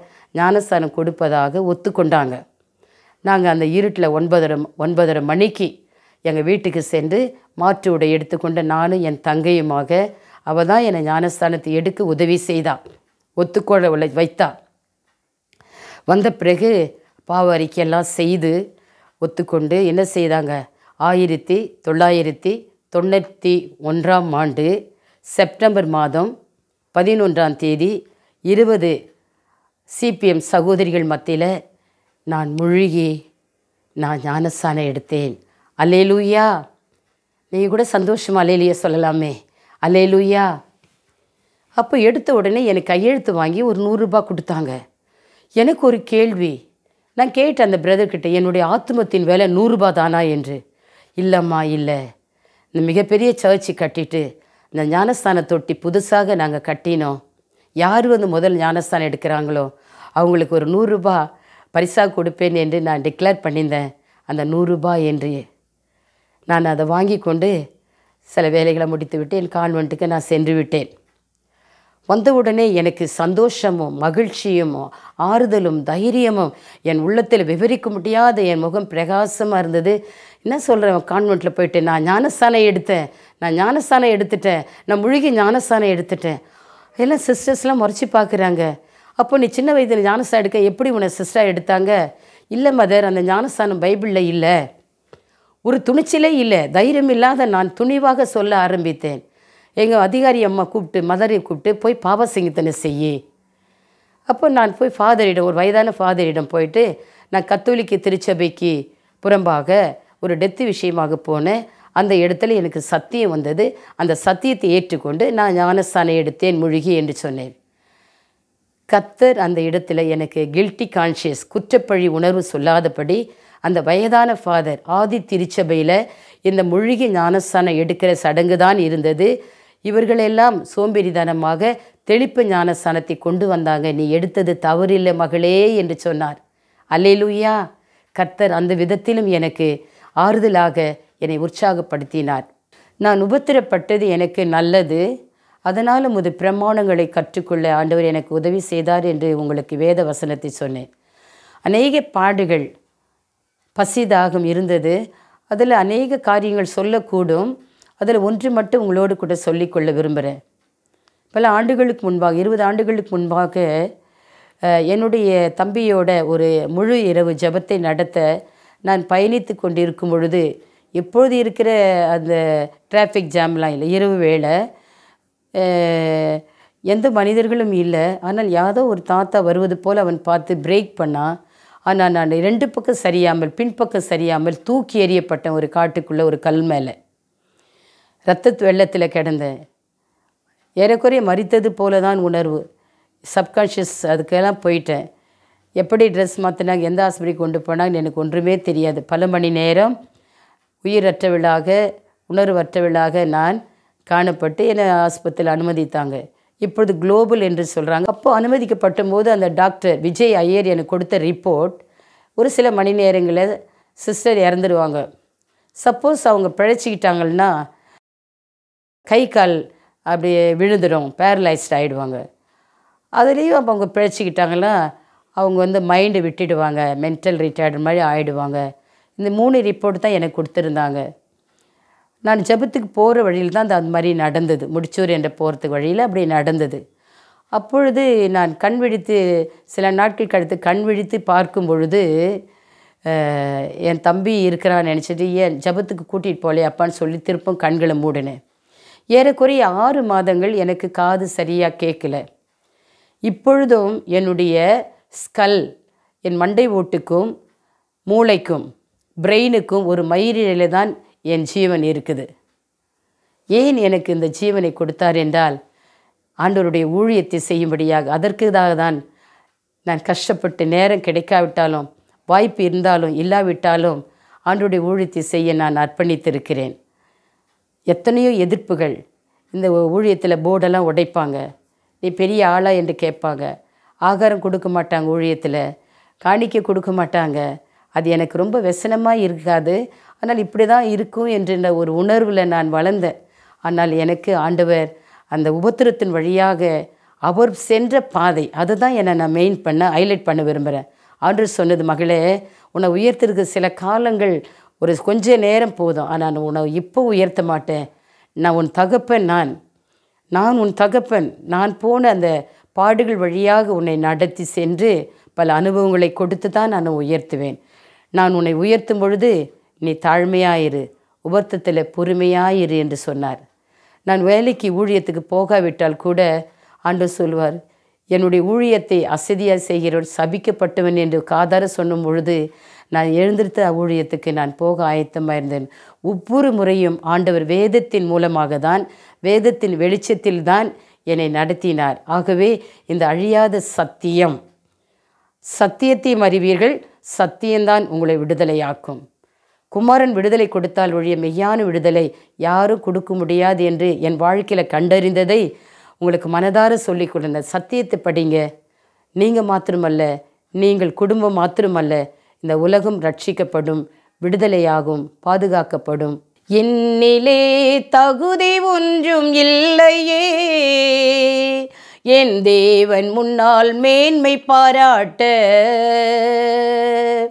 என்னிலே தகுதி ஒன்றும் இல்லையே. என் தேவன் முன்னால் மேன்மை பாராட்ட.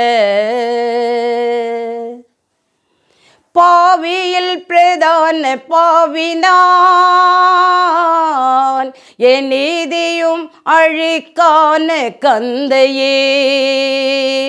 பாவியில் பிரதான பாவினான். என் நீதியும் அழிக்கான கந்தையே. கழுவி விட்டாரே தூய தம் இரத்தத்தால். என்னை மீட்டிட்டாரே அளவில்லாத கிருபையால். கழுவிட்டாரே தூய தம் இரத்தத்தால் என்னை மீட்டிட்டாரே அளவில்லாத கிருபையால். என்னிலே தகுதி ஒன்றும் இல்லையே. என் தேவன் முன்னால் மேன்மை பாராட்ட நடப்பதெல்லாம் உம்மை அல்லாமல் என்னால் ஏதும் நடக்கலாகுமோ? நடப்பதெல்லாம் உம்மை அல்லாமல் என்னால் ஏதும் நடக்கலாகுமோ? ஆகும் நீ சொல்ல என்றுமே. ஆகாதது ஒன்றுமில்லை உம்மாலே. ஆகும் நீ சொல்ல என்றுமே. ஆகாதது ஒன்றுமில்லை உம்மாலே. என்னிலே தகுதி ஒன்றும் இல்லையே. என் தேவன் முன்னால் மேன்மை பாராட்ட. என்னிலே தகுதி ஒன்றும் இல்லையே. என் தேவன் முன்னால் மேன்மை பாராட்ட. இப்படியாக நான் என்னுடைய கம்யூனிட்டியில் வாழ்ந்திருக்கும் பொழுது நான் பெற்ற அந்த ஆவியானுடைய அனுபவம் நான் பெற்ற இந்த ரட்சிப்பு பாவத்திலிருந்து விடுதலை கொடுத்து பாவத்துக்கு மறித்து நீதிக்கு பிழைத்த அந்த அனுபவம் யாருக்காவது சொல்ல வேணும் என்ற தாகம் இருந்தது. ஒரு நாள் இரவு ஹாஸ்டல் பிள்ளைகளுக்கு போர்டிங் பிள்ளைகளுக்கெல்லாம் நாங்கள் இந்த சுவிசேஷ கூட்டம் நடத்திவிட்டு பல்லாவரம் என்ற ஒரு இடத்துல எங்கள் கான்வெண்ட்டில் நான் மத்தியான வேளையில் கொஞ்சம் ஓய்வெடுக்க ஆரம்பித்தேன். அப்போ ஓய்வெடுத்து கொண்டு இருக்கும் பொழுது மெல்ல என்னை தட்டி ஆண்டவர் ஒரு வசனத்தை எனக்கு ஞாபகப்படுத்தினார். யோவான் எழுதிய சுவிசேஷம் நான்காம் அதிகாரம் இருபத்தி மூன்று இருபத்தி நாலு. தேவன் நான் ஆவியாயிருக்கிறேன். என்னை தொழுது கொள்ளுகிறவர்கள் ஆவியோடு உண்மையோடு தொழுது கொள்ள வேணும் என்று.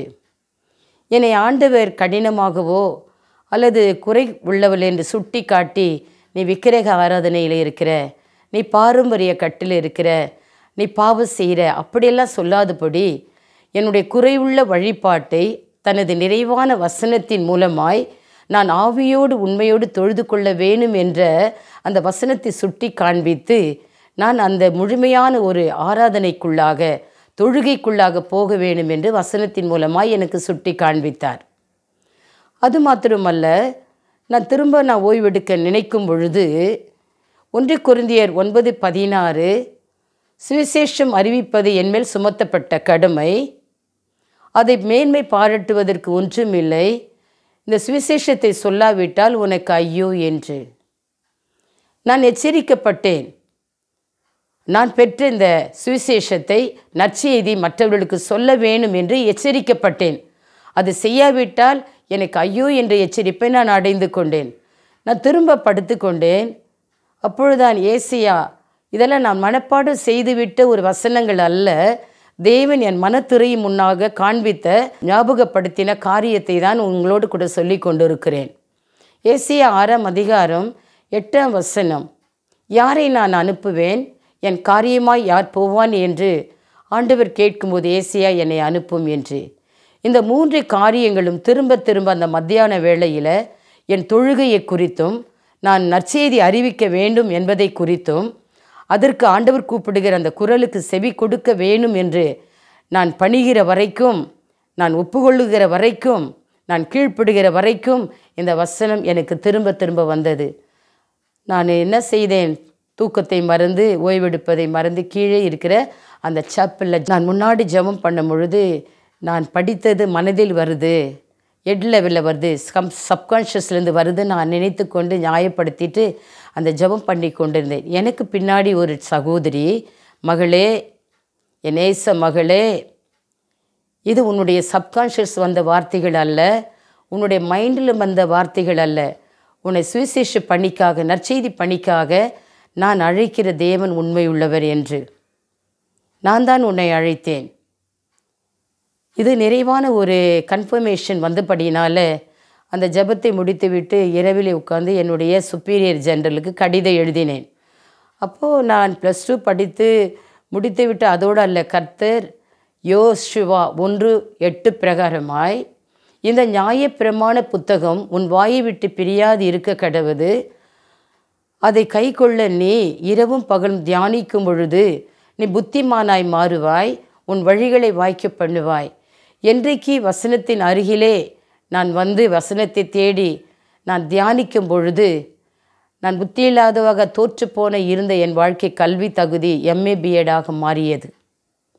மாத்திரமல்ல எத்தனையோ தடைகள் ஆசீர்வாத தடைகள் எத்தனையோ தடைகள் எனக்கு வரவேண்டிய காரியங்கள் எல்லாம் தடையாய் இருந்த பொழுது நான் வேதத்தின் அருகிலே சமீபமாய் வரும்பொழுது தடைகளை உடைத்து அதை வாய்க்க பண்ணினார். அல்லேலூயா. இப்படியாக நாட்கள் நகர்ந்தது. நான் பள்ளியில் இருக்கும் பொழுது மத கடிதம் எழுதினேன். இந்த ரன்னிங் இயரை முடிச்சுட்டு அடுத்தபடியாக உனக்கு நான் இந்த நற்செய்தி பணிக்காக உன்னை நான் பிரித்து விடுகிறேன் என்று கடிதம் வந்தது. அப்போ அவங்களுடைய முடிவு பிரகாரமாக அவங்களுடைய லெட்டர்ஸ் பிரகாரமாக அந்த அகடமிக் இயர் முடித்து அது ஆயிரத்தி தொள்ளாயிரத்தி தொண்ணூற்றி ஏழில் விருதாச்சலம் பக்கத்தில் இருக்கிற கோவிலான் என்ற ஊருக்கு நற்செய்தி பணிக்காக எல்லாம் மருத்துவ பணி இருக்குது கல்வி பணி இருக்குது நற்செய்தி பணிக்காக என்னை போட்டிருந்தாங்க. ஏறக்குறைய ஒரு மூன்று ஆண்டுகள் அங்கே நடந்தும் சைக்கிளில் போயும் குரூப்பாக போயிட்டு அந்த நற்செய்தி அறிவிக்க கிராமங்கள் தோறும் ஈவினிங்கில் அன்பியம் என்று சொல்லக்கூடிய அந்த கேர்சல் ப்ரேயர் மூலமாக அந்த சுவிசேஷத்தை அறிவிப்பதற்கான வழிகளையும் வாய்ப்பையும் தேவன் எனக்கு தந்தருளினார். இந்த ஜெபங்கள் மூலமாக இந்த நற்செய்தி மூலமாக அநேக காரியங்கள் இயேசு எதை சொன்னார் எதற்காக முன்குறித்து என்னை பிடித்தாரோ எந்த வரங்களை கொடுத்து இதெல்லாம் உன் வாழ்க்கையில் நடைபெறும் என்று சொன்னாரோ அந்தபடியே ஒவ்வொன்றாக அற்புதங்களும் சில நிகழ்வுகளும் நடந்து நடந்தேறின.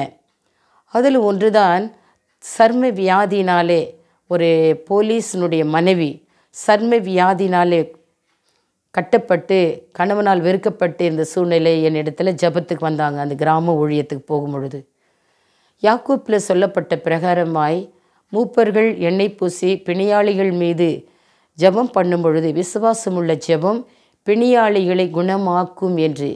ஏனென்றால் என்றைக்கு ஆவியானவர் என்னை தொட்டாரோ வேதத்தை முறையற பிழையற கற்க ஆரம்பித்ததின் விளைவாக எண்ணெய் பூசி அந்த மகளுக்கு நான் ஜெபம் பண்ணி அடுத்தவாறு அதே நாளில் வரும்பொழுது ஒரு சிறு குழந்தையினுடைய சருமம் போல அந்த மகள் மாறினாள். அந்த ஸ்கின் டிசீஸ் மறைந்து சுகமாயிருந்தால் கத்தரிக்கை மகிமை உண்டாவதாக. அது மாத்திரமல்ல என்னை போன்று தொண்டை அடைக்கப்பட்ட ஒரு லக்ஷ்மி நாராயணன் என்ற ஒரு சகோதரன் தன் மனைவி பிள்ளைகளோடு வந்தார். ஆண்டவர் சொன்னார் அந்த மகளோடு போய் நீ உன்னுடைய குறையை சொல்லு என்று. நான் அந்த வேளையில் கான்வெண்ட்டில் ஜெபம் பண்ணி கொண்டு இருக்கிற வேளையில் ஒரு அழுகிற சத்தம் போல் எனக்கு கேட்குது கண்களை மூடி ஜெபிக்கும் பொழுது எனக்கு பயம். யார் இந்த ரெண்டுலேருந்து மூணு மணி வரைக்கும் யார் அழுகுறான்னு சொல்லிட்டு தைரியத்தை வரவழைக்க முடியாத பயந்தே ஜெபம் பண்ணிகிட்டு இருந்தேன். ஒரு வழியாக நான் ஜெபம் பண்ணி முடித்து போன ஒரு ஆள் ஒரு மனைவி பிள்ளைங்க நிற்கிறாங்க அந்த பயத்திலே அவங்க கையை பிடிச்சிட்டேன் என்ன என்ன? அப்படின்னு சொல்லிட்டு அவங்க பேசினாங்க சைன் போட்டு. அவங்க மனைவி சொன்னாங்க ஆறு மாதமாக இந்த ஒர்க்கல் கார்டு வேலை செய்யல மருத்துவர்கள்லாம் கை விட்டுட்டாங்க பேச முடியல வேலைக்கு போகலை என்று. அப்போ மூன்று நாள் அவருக்கு தனிப்பட்ட விதத்தில் அவர்களை வரவழைத்து ஜெபம் பண்ணிட்டு மூன்றாவது நாள் ஆண்டவர் தெளிவாக அந்த மகன் மீது கை வைத்து ஜெபம் பண்ணு என்று சொன்ன உடனே நான் கீழ்ப்படிந்து அந்த மகன் மேலே நான் கை வைத்து செபித்தேன் எனக்கு தெரிந்த ஜெபம். ப்ராப்பராக ஜெபம் பண்ண தெரியாது. எனக்கு தெரிந்த ஜெபம் தான் இது வரைக்கும் நான் பண்ணிகிட்டு இருக்கேன். அப்போது ஜெபம் பண்ண கை வைத்த உடனே அவர் தொண்டைகள் திறக்கப்பட அவர் பேச ஆரம்பித்தார். அலேலுயா கத்தர் அவர் சொன்னதை அவர் அப்படியே நிறைவேற்றினார். நீண்ட நாட்களாக எனக்குள்ள ஒரு கதறல். பதினொன்று மணிக்கு நான் ஜெபம் பண்ணிட்டு எனக்கு தெரிந்த பாரம்பரிய ஜெபம் எனக்கு தெரிந்த ஒரு சில ஜெபங்களை சொல்லிட்டு படுக்க போவேன். ஜெபம் பண்ணி பதினொன்று மணிக்கு ஆண்டவரிடம் சொல்லி போவேன். என்னை எழுப்புங்க. எப்போ நான் வேணுமோ உங்களுக்கு அப்போ எழுப்புங்க என்னை. கரெக்டாக ரெண்டரை மணிக்கு என்னை எழுப்புவாங்க ஆண்டவர். நான் ஜெபிப்பதற்காக அந்த சேப்பலுக்குள்ளே வருவேன். பல இடங்களில் நடந்தது தான் நான் இதை உங்களுக்கு சொல்கிறேன் நான் வரும்போதே அழுதுகிட்டு வரேன். ஏன்னா எனக்கு ஜெபிக்க தெரியல. எப்படி துதிக்க தெரியல? ஏதோ ஒன்று ரெண்டு சொல்லத்தான் தெரியும். ஒரு ப்ராப்பராக ஜெபம் பண்ண தெரியல. ஒரு நாள் ஒரு ஆவிக்குரிய ஒரு கூட்டத்துக்கு போயிட்டு ஒரு சிறு பிள்ளை பக்கத்தில் உட்காந்துட்டேன் அதெல்லாம் கவனிச்சிட்டு இருந்தேன். கற்றுக்கிட்டு அப்படி காப்பி அடிக்க கூட எனக்கு திறன் இல்லை. அந்த சின்ன பிள்ளைகிட்ட பாப்பா இந்த ஜெபம் பண்ணி முடிக்கும்போது ஒன்று சொல்லுவாங்களே? ஏசு மூ என்னமோ சொல்லுவாங்களே அதினா ஆண்டி உனக்கு இது கூட தெரியாதான்னு கேட்டு எனக்கு ரொம்ப ஷேமாக இருந்தது. என் உள்ளம் ரொம்ப கதறினது. அப்போது ஆவியானவர் பலமாய் என் இருதயத்தில் ஊற்ற ஆரம்பித்து அவரை துதிக்க எனக்கு சொல்லி கொடுத்தார். அப்போ தான் என் கண்ணீருக்கு பதில் வர ஆரம்பித்தது. சங்கீதம் நூற்றி இருபத்தி ஆறு ஐந்து ஆறில் கண்ணீரோடு விதை விதைக்கிறவர்கள் கம்பீரத்தோடு அறுவடை செய்வார்கள் என்று. இந்த வேத வாக்கியங்கள் என் வாழ்க்கையில் அப்படி நடந்து ஏறியது. அப்போ கூட அழுவே எனக்கு சொல்லி கொடுங்க ஆண்டவரே. எனக்கு சொல்லி கொடுங்க. நான் எப்படி செபிக்குன்னு சொல்லி கொடுக்கும் பொழுது தான் ஒரு நாள் அந்த ரெண்டரை மணிக்கு நான் ஜெபத்துக்கு வரும்பொழுது நான் முழங்கால் படியிடும் பொழுது சங்கீதம் முப்பத்தி ரெண்டு எட்டு நான் உனக்கு போதித்து. ஒன்று நீ நடக்க வேண்டிய வழியை நான் உனக்கு காண்பிப்பேன். இரண்டு மூன்று உன் மீது நான் கண்ணை வைப்பேன். நான்காவது உனக்கு ஆலோசனை சொல்லுவேன் என்று. அன்றையிலிருந்து ஆண்டவர் கொஞ்சம் கொஞ்சமாக எனக்கு அவர் ஆசிரியராக ஆவியான நல்ல போதகராக எனக்கு அவர் ஜெபிக்க சொல்லி கொடுத்தார். எப்படி சொல்லி கொடுப்பார் என்றால் மகளே நீ ஆதியாகவத்தை படிக்கும் பொழுது என்னுடைய சிறுசிப்பின் காரியங்கள் அங்கு காணப்படுகிறது. அந்த சிறுசிப்பின் காரியங்களை சொல்லி நீ துதி பாடு என்று. இரண்டாவது பழைய ஏற்பாட்டிலும் புதிய ஏற்பாட்டிலும் நான் செய்த அற்புதங்களும் அடையாளங்கள் காணப்படுகிறது. அதெல்லாம் நீ எடுத்து தேர்ந்தெடுத்து அதை சொல்லி துதி பாடு என்று. மூன்றாவது என்னுடைய நாமங்கள் பழைய ஏற்பாட்டிலும் புதிய ஏற்பாட்டிலும் காண கிடக்கின்றன. அவையெல்லாம் கூத்ரோ பண்ணி நீ துதி பாடு என்று. என்னுடைய பிறப்பை குறித்து என்னுடைய போதனையை குறித்து நான் செய்த அற்புத அடையாளங்கள் மட்டும் இல்லை என்னுடைய பாடுகள் மரணம் உயிர்ப்பு சகல காரியங்களும் நிறைய நியாயத்தீர்ப்பை நியாய தீர்ப்பை குறித்து சாத்தானை குறித்த சகல காரியங்களை படிக்க படிக்க தேவனுடைய அரும்பெரும் அளப்பரிய நன்மைகளும் அதிசயங்களும் அற்புதங்களும் எனக்கு ஞாபகத்துக்கு வர அதை சொல்லி சொல்லி நான் துதிக்க ஆரம்பித்து பாடும்போது எனக்கு ஜெபிக்க நேரமே போதாத காலங்களாய் மாறியது. ஆண்டு அப்படியே ஜெபிக்க நான் ஆரம்பித்தேன். அது மாத்திரமல்ல நான் கற்றுக்கொண்டது யாருக்காவது சொல்லணும்னு சொல்லிட்டு அவசரமாக யாருக்காவது சொல்லுவேன் ஒரு வசனத்தை. எனக்கு ரொம்ப ஆசை. எங்களுடைய சக சகோதரிகளிடம் ஒரே நாளில் அல்ல பல இடங்களில் பல நேரங்களில் பல மணிக்கணக்காக இந்த சத்தியத்தை நான் காண்பித்து கொடுப்பேன். அந்தபடி அவங்களுக்கு ஓடி ஓடி வேலை செய்வேன். அவங்களுக்கு பேப்பர் கரெக்ஷன் பண்ணி கொடுப்பேன் ரேங்க் கார்டு போட்டு கொடுப்பேன் அவங்க காய்ந்த துணிகளை மடித்து கொண்டு வைப்பேன். அவங்களுக்கு பிடித்தமானது எதையாவது செய்வேன். இப்படியாக நான் நேரத்தை நான் சுருக்கி உங்களோடு கூட சொல்கிறேன் இப்படியாக அந்த நற்கிரிகைகள் மூலமாக என் சகோதரிகளை ஆண்டவருக்குள்ளே வழிநடத்த கத்தர் எனக்கு உதவி செய்தார். அப்படியாக ஏறக்குரிய என்னை போல கன்னியர்கள் இருபத்தெட்டு சகோதரிகள் பாவத்துக்கு மறித்து நீதிக்கு பிழைக்கும்படியாக முழுகி ஞானஸ்தானம் எடுக்க தேவன் உதவி செய்தார். அல்லேலூயா. அது மாத்திரமல்ல நான் காஞ்சிபுரம் கலெக்ட்ரேட் என்ற ஹையர் செகண்டரி ஸ்கூலில் நான் ஆசிரியராக இருந்தேன். நான் வாலிபாலில் நான் தேறினவள் ஸ்டேட் பிளேயர். நான் ஆடி ஆடக்கூடியவள் தான். என்னுடைய ப்ளஸ் டூ பிள்ளைங்க டென்த்து நைன்த் பிள்ளைங்களாம் வாலிபால் விளையாடி கொண்டிருந்தாங்க. அந்த வழியாக போன அவங்க சில தவறுகள் செய்வதை அதை நான் உணர்த்தி சொன்னேன். ஒழுங்காக விளையாடுங்கடா இது இப்படி போடக்கூடாது ஃபால்ஸ் அப்படிலாம் சொல்லும்போது உங்களுக்கே ஒன்றும் தெரியாது. உங்களுக்கு எப்படி தெரியும்? எங்களை தப்புன்னு சொல்கிறீங்கன்னு நான் சொன்னேன் இந்த காலரை தூக்கி விட்டு ஐம் ஏ ஸ்டேட் பிளேயர் அப்படின்னு சொன்னேன். சான்ஸே இல்லை ஏன்னா ரொம்ப நான் குண்டாக இருப்பேன். என்னுடைய வெயிட் வந்து தொண்ணூற்றி ஏழு கிலோவாக இருந்தது. சான்ஸே இல்லைன்றானுங்க. எனக்கு எப்படியாவது அந்த பிள்ளைகளை ஆத்தும ஆதாயம் பண்ணணும். எனக்குள்ளே ஒரு நல்ல உணர்வு ஆண்டவர் கொடுத்தாரு. நான் மதர்கிட்ட கேட்டுட்டு மதர் நான் போய் அந்த பிள்ளைகளோட நான் வாலிபால் விளையாடணுமா அப்படின்னு சொல்லிட்டு. அதற்கு முன்பாக அந்த பையன்கிட்ட ஆனந்த் பிரவீன் போன்ற பிள்ளைங்கிட்ட நான் நம்ம எல்லாம் சேர்ந்து விளையாடுவோம். நீ தோற்று போனேன்னா இயேசுவை ஏற்றுக்கொள்ளணும். நான் ஜெயிச்சேன் நீ இயேசுவை ஏற்றுக்கொள்ளணும். நீ ஜெயிச்சா அது ஒன்றும் வேண்டாம். அப்படின்னு சொல்லிட்டு ஒரு காம்படிஷன் பண்ணிக்கிட்டு ஒரு சான்ஸு சவால் விட்டுட்டு நான் மதர்கிட்ட பெர்மிஷனோடு நல்ல துணியெல்லாம் ரெடி பண்ணிவிட்டு லாட்ஸ் போட்டோம். அவங்க விளையாடினானுங்க அவங்க ஜெயம் எடுத்தாங்க. வின்னர் ஆனானுங்க நாங்கள் ரன்னர் ஆனோம். செகண்ட் டைம் நாங்கள் எங்கள் சைடு நாங்கள் வின்னர் ஆனோம். அவனுங்க ரன்னர் ஆனாங்க. நான் ஆண்டவரை கெஞ்சிறேன். ஆண்டவரே உங்களுக்கு ஆத்மா வேணும் இல்லையா? நான் அதில் ஈடுபட்டுட்டேன். எப்படியாவது நாங்கள் ஜெயிக்கணும். ஆண்டவரை உதவி செய்கின்ற ஒரு குறிக்கோளோட வைராக்கி வாஞ்சியோடு விளையாடணும். ரெண்டு ஸ்கோரில் அவனுங்க தோற்று போனாங்க. அல்லேலூயா. அதனால் அவனுங்க எதை ஒப்புக்கொண்டானுங்களோ அதே போல் நான்கு பிள்ளைங்க இயேசுவை ஏற்றுக்கொண்டு அவங்க ரட்சிப்புக்குள்ளே வந்தாங்க. அல்லேலூயா.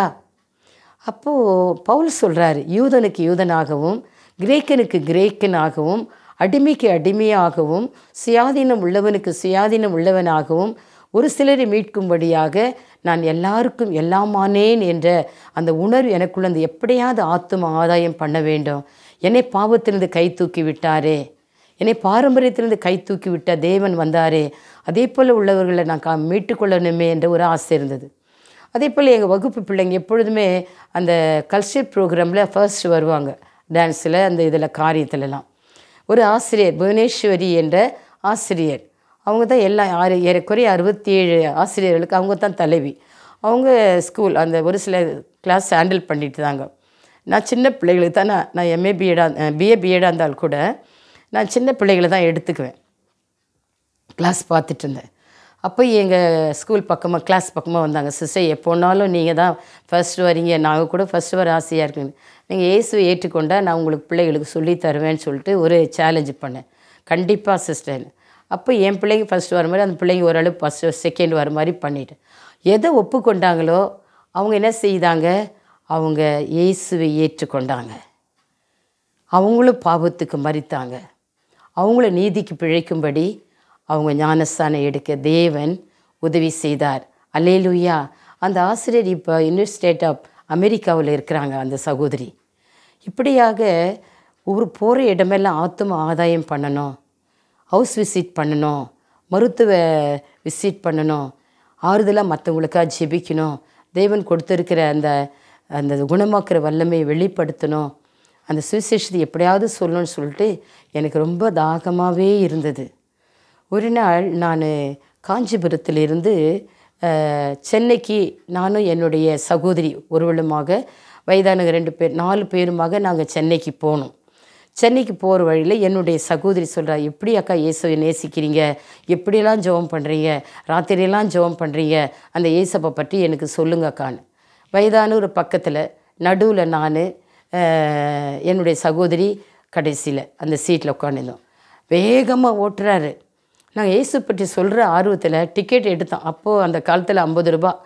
நாலு பேருக்கு இருபது ரூபா போனால் மீதி வந்து முப்பது ரூபாய் எங்களுக்கு கிடைக்கணும். அந்த பச்சை டிக்கெட்டில் எழுதியிருக்கிறார் பின்புறம். நாங்கள் என்ன பண்ணோம்? ஆர் ஆர்வ கோளாறில் இயேசு பற்றி சொல்வது மு- அந்த ஆர்வத்தில் என்ன பண்ணோம்? மீதி காசு வாங்கலை. ஆண்டவர் பற்றி சொல்லிக்கிட்டு அப்படியே அபிஷேகமாக ரொம்ப சந்தோஷமாக போகிறோம் அங்கே போய் பூந்தமல்லியில் இறங்கிட்டோம் காசு வாங்காதே இறங்கிட்டோம் எங்களுக்கு ஒவ்வொன்றுக்கும் கணக்கு ஒப்படைக்கணும் பெரியவங்கிட்ட நான் சொன்னேன் சகோதரிக்கிட்ட சகோதரி இங்கே பார்ப்பா காசு விட்டுட்டோம். வாங்கலையாப்பா என்னப்பா பண்ணுறது உங்கள் ஆண்டவர் தருவார் கவலைப்படாதீங்கன்றாங்க.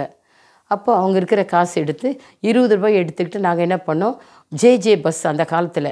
அந்த பஸ் ஒரு குறிப்பிட்ட ஸ்டேஜில் தான் நிற்கும். ஏறிட்டோம். வேகமாக நாலு பேர் ஏறிட்டோம். ரெண்டு ரெண்டு ரூபா டிக்கெட்டு அப்போது ஏறிட்ட உடனே அந்த கண்டக்டர் எங்களை சத்தம் போடுறாங்க. சிஸ்டர்ஸ்லாம் படிச்சிருக்கிறீங்க. இந்த பஸ்ஸில் ஏறக்கூடாது. நீங்கள் சொல்கிற அந்த ஸ்டேஜில் இறங்கவே முடியும் ஸ்டாப்பிங்கே கிடையாதுன்றாரு. நாங்கள் திட்டு வாங்கிட்டு அமைதியாக இருந்தோம். அந்த திட்டு வாங்குறதுலேயே அந்த இருபது ரூபா வாங்கிக்கிட்டு எட்டு ரூபா போனால் மீதி பன்னெண்டு ரூபா தான் தரணும். அவர் பத்து ரூபா கொடுக்குறாரு இருபது ரூபா கொடுக்குறாரு சேஞ்சு கொடுக்குறாரு. எங்கள் சகோதரி என்ன சொல்லுதுங்க பாரு அங்கே விட்டுட்டு வந்த காசெல்லாம் ஆண்டவர் கொடுக்குறாரு. இல்லை இல்லை. நம்ம வந்து கரெக்டாக இருக்கணும். ஆண்டவர் வந்து நம்மளை பரிசோதிப்பார். நம்ம எல்லாத்துலேயும் உண்மையாக இருக்கணும்ப்பா அப்படின்னு சொல்லிட்டு நான் என்ன செய்தேன் அந்த ஐயா கிட்டே போய் நடந்து போய் அந்த பன்னெண்டு ரூபாய் எடுத்துகிட்டு மீதி காசை அப்படியே கொடுத்தேன். அவருக்கு ஒரே சந்தோஷம். ஏற இறங்க பார்த்துட்டு அந்த குறிப்பிட்ட இடத்துல எங்களை இறக்கி விட்டார். ஏன்னா கொஞ்சத்தில் உண்மையாக இருந்தால் தான் அதிகவற்றுக்கு அதிகாரியாக மாற்றுவேன்னு சொல்லிட்டு லூக்கா பதினாறாம் அதிகாரத்தில் மத்திய இருபத்தஞ்சாம் அதிகாரத்தில் சொல்லப்பட்டிருக்குது. இந்த வசனங்களை கைக்கொள்ளும்போது சின்னதில் நம்ம உண்மையாக இருக்கணும். ஆண்டவர் கொடுத்ததில் உண்மையாக இருக்கணும். நம்ம பேசுகிறதில் உண்மையாக இருக்கணும். நம்ம பழகிறதுல உண்மையாக இருக்கணும். கொஞ்சம் கொஞ்சமாக அந்த வேத வசனத்தை ஒரேடியாக கற்றுக்கொள்ள முடியலைங்க பிரதர்ஸ் மை சிஸ்டர்ஸ் கொஞ்சம் கொஞ்சமாக நான் பழக ஆரம்பித்தேன். அப்போ அதே போல் நான் அந்த காஞ்சிபுரத்தில் பதினொன்றரை மணிக்கு எனக்கு ஓப்பன் டெரஸ் தான் ஜபாரை. ரெண்டரை மணிக்கு எழுந்துச்சு ஓடுவேன். ரெண்டு ரெண்டு படியாக நான் தாண்டுவேன். ஒரு மணி நேரம் அந்நிய பாஷையில் துதிப்பேன். ஒரு மணி நேரம் தமிழ் பாஷையில் துதிப்பேன். மூன்றாவது மணி நேரம் எல்லாத்துக்காக ஜெபம் பண்ணுவேன். ஆண்களுக்காக பெண்களுக்காக குழந்தைகளுக்காக வாலிபர்களுக்காக முதியவர்களுக்காக அப்படி எனக்கு எப்படியெல்லாம் ஆண்டவர் ஆவியான ஞாபகப்படுத்துவாரோ அப்படி நான் ஜெபம் பண்ணுவேன். ஒரு நாள் ஜெபம் பண்ணும் பொழுது நான் ஒரு காரியத்தை நான் கேட்டிருந்தேன். நான் மறந்துட்டேன் அதை ஆண்டவரே நான் உமக்குரிய பிள்ளையாக இருந்தால் எனக்கு ஒரு அடையாளம் காமிக்கணும். நான் பூமிக்குரிய பிள்ளையாக இருந்தால் எனக்கு அடையாளம் வேணாம் அப்படின்னு. அப்போ நான் துதிக்கும் பொழுதே இது என் பெருமைக்காக இல்லை தேவனுடைய மகிமைக்காக இந்த நடந்த நிகழ்வு உங்களில் நான் ஃப்ராங்காக சொல்கிறேன் அப்படி ஜெபிக்கும் பொழுது என்னுடைய கால் வந்து ஒரு த்ரீ ஃபீட்டு அந்த ஃப்ளோரை விட்டுட்டு ஹைட்டாக போயிட்டுக்கிறேன் எனக்கு தெரியல. அப்போ ஆயிட்டு அந்த ஜெபம் முடிஞ்சு நான் கீழே இறங்குறேன். என் க என்னுடைய கால் வந்து கீழே இறங்க முடியல. ஏன்னா த்ரீ ஃபீட் நான் உயரத்தில் அந்தரங்கத்தில் நான் நின்றுட்டு இருக்கிறேன் அப்போ நான் ஆண்டர்கிட்ட சொல்கிறேன் ஆண்டவரே இந்த காலெல்லாம் இப்படி தூக்கிட்டு இருக்கிறதால யாருக்கு என்ன பிரயோஜனம்? யாருக்காவது உதவி இருந்தால் பரவாயில்ல. இந்த கால் ரெண்டு தூக்கிட்டு இருக்கு என்னை இறக்கி விடுங்க அப்படின்னு சொல்லிட்டு சொல்கிறேன் அப்போ தான் ஆண்டவர் ஞாபகப்படுத்தினார். அவர் மறக்கவே மாட்டார். அவர் என்ன செய்தார்? நீ தானே அடையாளம் கேட்ட. நீ எனக்குரிய பிள்ளையாக இருந்தால் எனக்கு ஒரு அடையாளம் காட்டு. நீ பூமிக்குரிய பிள்ளையா இருந்தால் ஒரு அடையாளம் காட்டு. நீ தானே சொன்ன நீ எனக்குரியவள் நீ பூமிக்குரியவள்ல. ஆகவே தான் ஒரு படியை நான் உன்னை தூக்கி நான் நான் உன்னை லிஃப்ட் பண்ணி வச்சிருக்கிறேன்னு சொன்னார். எனக்கு ரொம்ப சந்தோஷமாக இருந்தது. எவ்வளோ ஆண்டவர் நம்ம சின்ன ஜெபத்துக்கு அவர் பதில் கொடுத்தாரே என்று அப்போ சொன்னேன் ஏசப்பா தயவு செய்து ஏன் நான் ஏசப்பான்னு சொல்கிறதுக்கு ஒரு கதை இருக்குது. நான் போகிறேன் ஸ்கூலுக்கு போகிறேன் எனக்கு ஒரு வசனம் சொல்லி கொடுங்க. எவ்வளோ வசனம் ஞாபகப்படுத்துறீங்க? எனக்கு ஒரு வசனம் சொல்லி கொடுங்க நான் அதை அறிக்கை பண்ணியிருக்கேன் அந்த லொக்கேஷன் எனக்கு தெரியாது. அப்போ தான் சொன்னார் ஏசி அறுபத்தி நாலு எட்டு நீ போய் படி அப்படின்னாரு. நான் வேக வேகமாக படிக்கட்டு இறங்கி போய் ப அந்த வேதத்தை எடுத்து நான் படிக்கும்போது நான் என்ன கடைசியை முடிச்சேனோ அண்டவரே நீ பரம குயவனாக இருக்கிறீர் உன்னுடைய கையின் கிரியாக இருக்கிற நான் அறிக்கை பண்ணேன். ஆனால் எந்த இடம் தெரியாது. ஆனால் அவர் சொன்னார் ஏசி அறுபத்தி நாலு எட்டில் நீ சொன்ன காரியம் இருக்குது. அதுதான் அந்த வசனம். இன்னைக்கு முழுதும் அதை தியானி என்று. எனக்கு ரொம்ப சந்தோஷமாக இருந்தது. இன்னும் ஒரு நாள் அந்த ஜெபிக்க போகும்போது ரொம்ப அழுதுட்டு இருந்தேன் நான் ஜெபிக்கலை. அப்போ ஆண்டவர் என்னை கேட்டார் ஏன் அழுகுறேன்னு you knows everything about me ஆனால் கூட கேட்டார் பர்பஸ்லி வாஸ் ஆஸ்கிங் கொஸ்டின் அப்போ கேட்டார். அப்போ நான் ரொம்ப திட்டு வாங்கியிருந்தேன் மதர்கிட்ட பிரின்ஸ்பால் கிட்ட ஏன் நான் பணம் கட்டுற ஸ்கூலு முக்கால் பிள்ளைங்க முக்கால் பகுதி பிள்ளைங்க நல்லா படிப்பாங்க ஒரு சில பிள்ளைங்க படிக்கலை. நீ ஜெபம் பண்ணுற உபவாசிக்கிற உன் பிள்ளைங்க சரியாக படிக்கலையே பேரண்ட்டு கம்ப்ளைண்ட் பண்ணுறாங்கன்னு அது எனக்கு ரொம்ப துக்கமாக இருந்தது. அந்த பிரச்சனையை ஆண்டவர்கிட்ட நான் சொல்ல ஆரம்பித்தேன் ஆண்டவரே இப்படி என்னை திட்டுறாங்க என் பிள்ளைங்க சரியாக படிக்கலையே ரொம்ப கஷ்டமாக இருக்குது எனக்குன்னு. அப்போ ஆண்டவர் ஒரு ஆலோசனை கொடுத்தார். நாளைக்கு நீ ஜெபத்துக்கு வந்தீங்கன்னா நீ உன்னுடைய பிள்ளைங்களுடைய அட்டண்டன்ஸ் எடுத்துகிட்டு வா அப்படின்னு. இது கேட்கறதுக்கு நம்மளுக்கு ஒரு மாதிரி இருக்கும். இப்படியெல்லாம் ஆண்டவர் பேசுவாரா? அருமையான தேவ பிள்ளைகளை அருமையான என்னுடைய பிரதர் சிஸ்டர்ஸ் என்கிட்ட பேசுனதை நான் ரொம்ப உங்ககிட்ட சொல்லிக்கொள்ள ஆசைப்படுறேன். அப்போ நான் எடுத்துகிட்டு வந்து ஒவ்வொரு பிள்ளை பேர் சொல்லி ஸ்தோத்திரம் பண்ணி ஆண்டர்கிட்ட கொடுத்தேன். அப்போ முடிவாக ஒரு வார்த்தை சொன்னார்ம்மா நீ எங்கே போனாலும் ஊருக்கு போனாலும் நீ போயிட்டு வரேன்னு சொல்கிற எங்கே போனால் ஸ்கூலுக்கு போனால் போயிட்டு வரேன்னு சொல்கிற என்னைக்காவது உன்னை வந்து நீ கிளாஸ்க்கு வா ஊருக்கு என்னோட வாங்க அப்படின்னு என்னை கூப்பிடவே மாட்டேங்கிறியே. போயிட்டு வரேன் போயிட்டு வரேன்னு சொல்கிறியம்மா அப்படின்னாரு. எனக்கு ரொம்ப துக்கமாக இது ஏசு என்னுடைய ஃபெலோஷிப் இவ்வளோ விரும்புகிறாரா நினச்சி இன்றைக்கு வரைக்கும் அன்றைக்கு சொன்ன ஏசு இன்றைக்கு வரைக்கும் நான் எங்கெல்லாம் போகணும் இயேசுவே நீ என்னோடு கூட வாங்க. நீங்கள் வந்தால் தான் எனக்கு சந்தோஷம். நீங்கள் வந்தால் தான் நான் வித்தியாசமாக மாறுவேன். நீங்கள் வந்தால் தான் விசேஷமானவளாக மாறுவேன்னு சொல்லிட்டு அவர் அன்போடு கூட என்னை அழைச்சிட்டு போவேன். அப்போ கிளாஸ் ரூமுக்கு நீங்கள் வாங்க இன்றைக்கி கிளாஸ்க்கு வாங்க. அப்போ அதுக்கு முன்னாடிலாம் நான் போர்டில் எழுதும்போது என் பிள்ளைங்க பயங்கரமாக கலாட்டா பண்ணுவாங்க. அடிச்சுக்குவாங்க கிள்ளிக்குவாங்க சரியாக எழுத மாட்டாங்க. டெஸ்ட் எதுனா கூட காப்பி பண்ண முட மாட்டேங்கிறான்னு கம்ப்ளைண்ட் பண்ணுவாங்க. என்றைக்கு நான் இயேசுவை கூப்பிட ஆரம்பித்தேனோ? என் வகுப்பறைக்கு இயேசு என்றைக்கு வந்தாரோ? அன்றையிலிருந்து இன்றைக்கு வரைக்கும் பல விதங்களிலே பல வழிகளிலே ஆண்டவர் அவருடைய பிரசனத்தினால் அதெல்லாம் கண்ட்ரோல் பண்ணி அவருடைய மகிமை எனக்கு வெளிப்படுத்தினார். அல்லேலூயா ஒரு நாள் இதே மாதிரி தான் நான் காஞ்சிபுரத்துலேருந்து சென்னைக்கு போக வேண்டிய ஒரு சூழ்நிலை இருந்தது. தனியாக தான் போனேன். அப்போ போகும்போது ஒரு சர்டன் நேரம் கழித்து டைம் வந்த பிறகு என்னை பற்றி நீ சொல்லுவாயான்னு கேட்டார். ஆமாம் ஆண்டவரே உண்மை பற்றி நான் சொல்லுவேன். நிச்சயமாக சொல்லுவேன். கண்டிப்பாக சொல்லுவேன். அப்படின்னு. திரும்ப திரும்ப கேட்டார். பேதரிடம் மூணு முறை கேட்டது போல நேசிக்கிறாயா நேசிக்கிறாய் என்று எங்கிட்ட நீ என்னை பற்றி சொல்லுவாயா? என்னை பற்றி சொல்ல நிச்சயம் சொல்லுவேன் ஆண்டவரே அப்படின்னு. நான் அது வரைக்கும் தான் கேட்டேன் ஒழிய எங்கே சொல்லணும் எப்படி சொல்லணும்? அவர்கிட்ட கேட்கல நான். அவ்வளோதான் என்னுடைய அறிவு. அவ்வளோதான் என்னுடைய அனுபவம். நான் திரும்ப நான் க சென்னைக்கு போய் வேலை முடிச்சுட்டு வரும்பொழுது அவர்கிட்ட கேட்குறேன் ஆமாம் ஆண்டவரே உண்மை பற்றி சொல்லணும்னு சொல்கிறீங்களே நான் எங்கே சொல்லணும் எப்படி சொல்லணும்? நான் கேட்கும் பொழுது ஆண்டவர் எங்களோட ஸ்கூல் ஸ்டேஜை காமிச்சு ஃபுல்பீட் அந்த பைபிள் ஸ்டாண்டை காமிச்சு மைக்கு காமிச்சு பைபிள் காமிச்சார். ஓஹோ நான் அங்கேருந்து நான் பைபிள் அறிவிக்கணும் போல் அப்படின்னு. நான் வந்து சாதாரண யூனிஃபார்ம் போட்டணும் ஃபீஸ் கட்டு இப்படி வா லேட்டாக வராது அது சொல்ல நான் ஸ்டேஜ் ஏறக்கூடாது ஆண்டவரே. உண்மை பற்றி சொல்லணுன்னா தான் நான் அந்த மைக்கு முன்னாடி நிற்பேன்னு ஒரு வைராக்கி எனக்குள்ளே இருந்தது. அப்போது ஆண்டவர்கிட்ட இப்படி சொல்லிட்டாரேன்னு சொல்லிட்டு எங்கள் மதர்கிட்ட உத்தரவு இல்லாமல் இந்த காரியத்தில் செய்யக்கூடாது. மதர்கிட்ட போயிட்டு நான் கேட்குறேன் மதர் இது மாதிரி நான் அதிகாலையில் பாடல்லாம் போட்டுட்டு பைபிள் வாசித்து நான் வந்து இந்த காஞ்சிபுரத்துக்காக எல்லா வேர்ல்டுக்காக நான் ஜெபிக்க போகிறேன்னு அவங்க உடனே வருத்தப்பட்டாங்க கோவப்பட்டாங்க. நீ புதுசு புதுசாக தொடங்க யார் அதை வந்து ஃபாலோ பண்ணுவாங்க? நீ போ அப்படின்ட்டாங்க. நான் ஒன்றும் சொல்லலை. ஆண்டவர்கிட்ட சொன்னேன் ஆண்டவரே நீங்கள் சொல்ல சொன்னீங்க. நான் சொல்லிவிட்டு அது உங்கள் பாடுன்னு சொல்லிட்டேன். ஆனால் அடுத்த நாள் அது நவம்பர் மாதமாக இருந்தது. நவம்பர் மாதமாக ஒன்றாம் தேதியாக இருந்தது.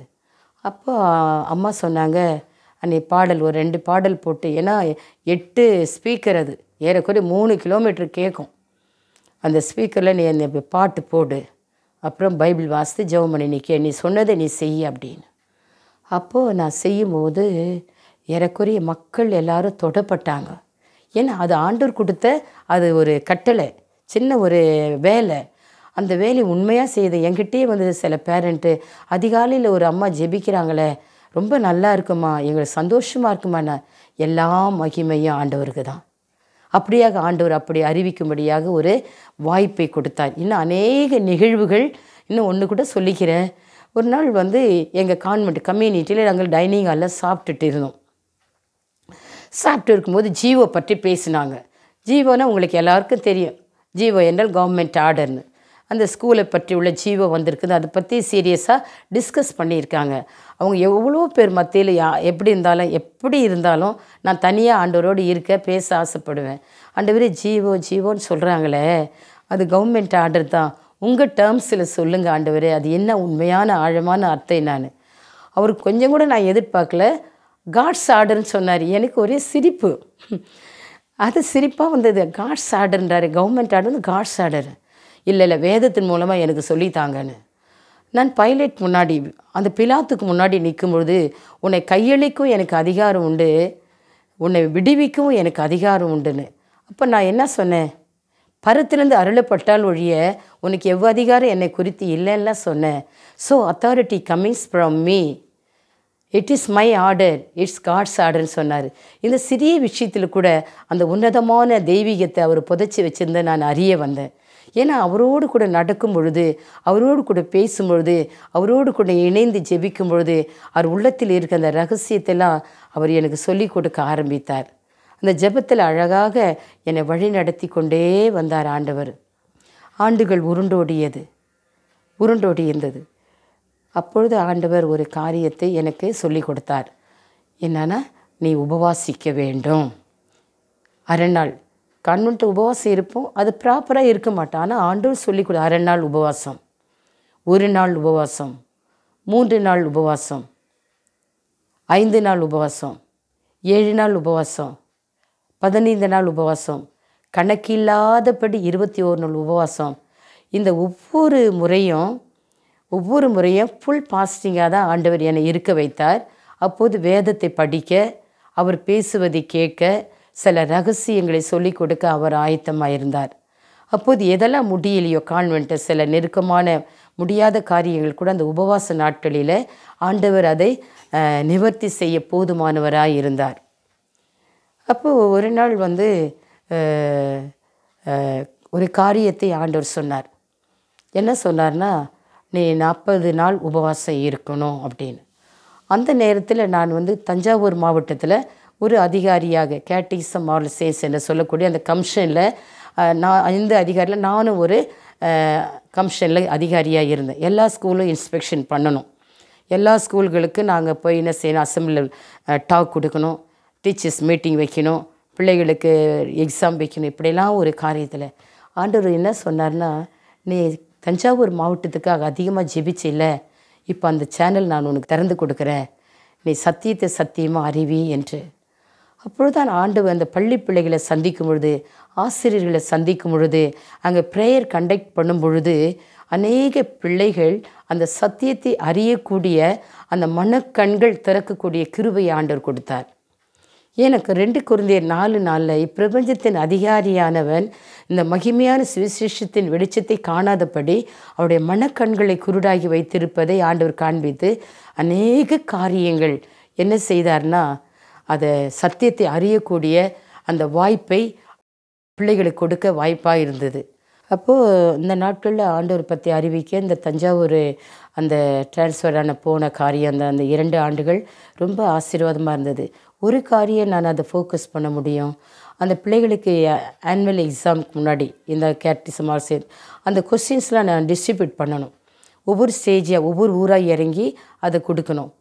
நான் அதை கொடுக்க ஆரம்பிச்சுட்டு ஒவ்வொரு ஸ்டேஜாக போய் கொடுக்க ஆரம்பித்துட்டு வந்தேன் கடைசி வேளாங்கண்ணியில் இடத்துல கொடுத்துட்டு நான் திரும்ப வரும்பொழுது என்னுடைய சிந்தனையில் தெளிவு இல்லை.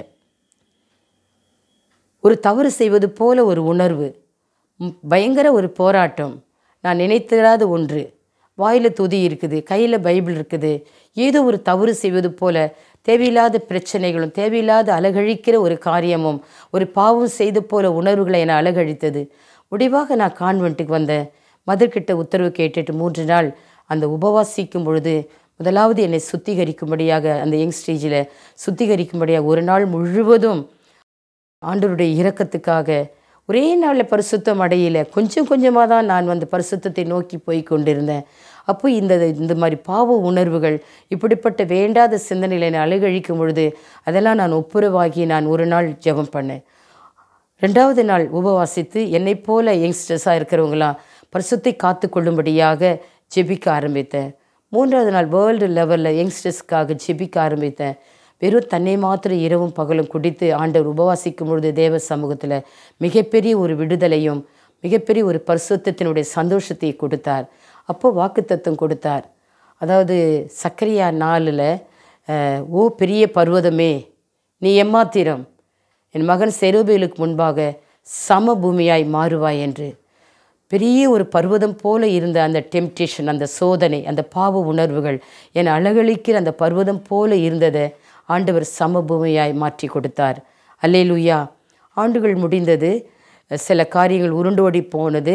அப்பொழுது நான் பெங்களூரில் ஒரு இன்டர்நேஷ்னல் ஸ்டடிக்காக போயிருந்தேன்.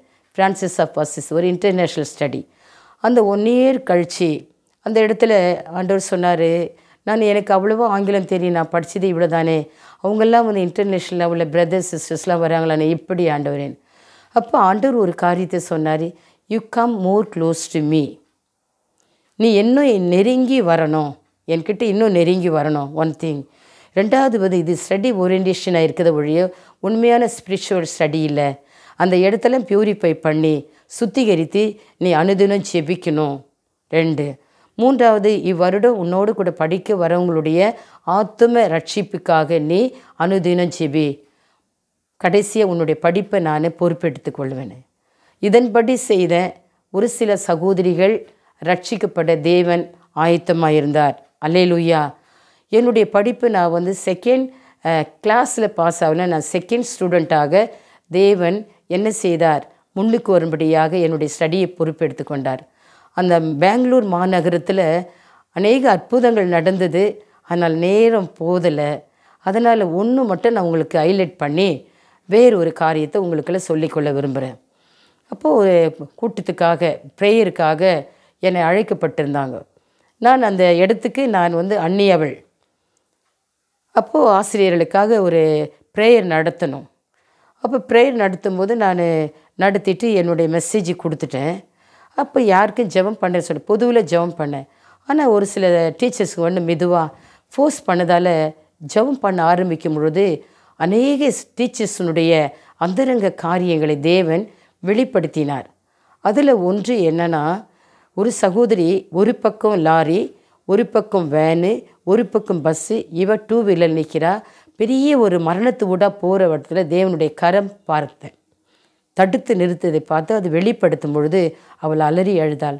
நான் பத்து நாளைக்கு முன்னாடி இறந்திருக்க வேண்டியது அதே சம்பவத்தை ஆண்டர் வெளிப்படுத்தினார் என்று. இன்னொரு சம்பவம் என்னென்னா ஒரு சின்ன குன்று மாதிரி இருக்குது. அதில் தாய் பறவையானது அப்படியே மெல்ல கண்ணீரோடு அந்த கண்ணில் நல்லா பார்க்குற கண்ணில் தண்ணி அந்த அலைகளை இறைய தேடிட்டு அடுத்த பக்கத்தில் இருக்க அந்த மூணு கிட்ஸுக்கு அந்த குருவிகளுக்கு அது ஃபீட் பண்ணுது. அப்போ ஆண்டவர் போட்டார் மகளே உன்னுடைய வாழ்க்கையில் முதன்மையாக இருந்த உன்னுடைய கணவரை நான் எடுத்துட்டேன். இப்போ உன் கணவருக்கு பதிலாக I'm a reference representative of life அப்படின்னாரு. இப்படியே ஒவ்வொருத்தருடைய காரியங்கள் எல்லாம் வெளியரங்கமாக ஆண்டவர் வெளிப்படுத்தினால் அநேகர் வந்து ரட்சிப்புக்குள்ளே வர ஆயத்தமார். இதை விட சில அநேக அந்தரங்க பாவத்தில் இருக்கிறவர்களை கூட ஆண்டவர் தரிசன வரத்தினால தீர்க்க தரிசனத்தை வெளியே சொல்லி அவர்கள் ரிப்பெண்டன்ஸ் மனம் மாறுவதற்கான வழிகளையும் வாய்ப்புகால்களையும் அந்த பெங்களூர் மாநகரத்தில் அந்த ஊழியத்தில் செய்ய தேவன் போதுமானவராயிருந்தார். அல்லேலூயா. ஆண்டுகள் உருண்டோடியது. சில காரியங்களில் நான் ஆண்டவர்கிட்ட ஊழியத்தை செய்திருந்தால் கூட ஆண்டவர் அநேக சொல்லுவாங்க வெளியே வந்து ஊழிய செய்ய வெளியே வந்து ஊழிய செய்யணும் எது எனக்கு அது ரொம்ப தூரமாக இருந்தது ஏன் நான் வெளியே வந்து என்னுடைய கத்தோலிக்க மக்களுக்காக எங்களுடைய சிஸ்டர்களுக்காக என் ஜீவனை கொடுப்பேன்னு. அது ரெண்டாயிரத்தி ஒன்பதில் என்னுடைய ஜூப்ளியர் வந்தது. அப்போது மேல் இந்த பெங்களூருக்காக நாங்கள் ஒரு டூர் போயிருந்தோம். சுற்றி பார்த்துட்டு குழந்தைய ஆலயத்துக்கு போகணும். அப்போ எல்லாம் ஆலயத்துக்கு போயிட்டா நானும் போயிட்டு ஒரு ஆவிக்குரிய சபைக்கு ஆராதனைக்காக நான் போனேன். அப்போது ஒரு தெரிந்த ஆண்டி இருந்தாங்க. எத்தனை ஆண்டுகள் நீ ஆண்டவர் துக்கப்படுத்திட்டு தொண்ணூத்தொன்னில் ரட்சிக்கப்பட்டு ரெண்டாயிரத்தி ஒன்பது இன்னும் ஊழிய செய்ய அதை வெளியே வராது இப்படி இருக்கிறியே ஆண்டவர் துக்கப்படுத்தினேன் நான் சொன்னேன் ஆண்டி நீங்கள் உங்கள் படி நீ ஊழியம் செய்யுங்க. நான் என்னப்படி என்னை ஊழிய உள்ளத்தை செய்கிறேன் அப்படின்னு. சரி வந்தது வந்த. ஜெபம் பண்ணு. அப்படி ஜெபம் பண்ணலான்னு என்னை அழைச்சி அரவணைச்சி ஜெபம் பண்ணும்போது தான் அருமையான தெய்வ பிள்ளைகளை வானும் அப்படியே ரெண்டாக பிளந்துக்கிற மாதிரி பார்த்தேன். சத்தமான ஒரு காரியம். உன்னுடைய சிறையிருப்பை நான் மாற்றுவேன். நீ ஊழிய செய்ய வெளியே வா. நீ வரும்பொழுது நீ ஒரு தூதனோடு வருவாய். நீ ஊழியத்துக்கு வெளியே வா என்று ஆணித்தரமான குரலில் காதார நல்ல தென்றல் இல்லை நல்ல ஒரு காற்று என்னுடைய ஆடைகள்லாம் ஒட்டி கொள்கிறபடி சத்தத்தோடு அந்த வா வாய்ஸை கேட்டேன். அது ரெண்டாயிரத்தி ஒன்பது செப்டம்பர் மாதம் இருபத்தி ஒன்பதாம் தேதியாக இருந்தது. அந்த டூர் முடித்து விட்டு நாங்கள் காஞ்சிபுரம் ரெண்டாவது முறையாக இருந்தபடியினால் அந்த இடத்துக்கு வந்து என்னுடைய காரியங்கள் எல்லாம் என்னுடைய பொறுப்பான வேலைகள் பணங்கள் வேலை எல்லாத்தையும் அந்த ராத்திரியோட ராத்திரியாக ஒழுங்கு செய்துவிட்டு அப்போது பெரிய மத ரோமில் இருக்கிறாங்க. ப்ரிவின்ஷியல் மத பீகாரில் இருக்கிறாங்க. நான் கடிதம் எழுதிவிட்டு நான் ஊழியத்திற்காக வெளியே போகிறேன். இந்த மாதிரி சம்பவங்கள் நடந்தது என்று கடிதம் எழுதி வச்சுட்டு என் தம்பிக்கு ஃபோன் பண்ண என்னை வந்து கூப்பிட்டுட்டு போ அப்படின்னு. அடுத்த நாள் வந்தது அக்டோபர் மாதம் ஒன்றாம் தேதி என் தம்பி வந்து என்னை கூட்டிகிட்டு வந்தான்.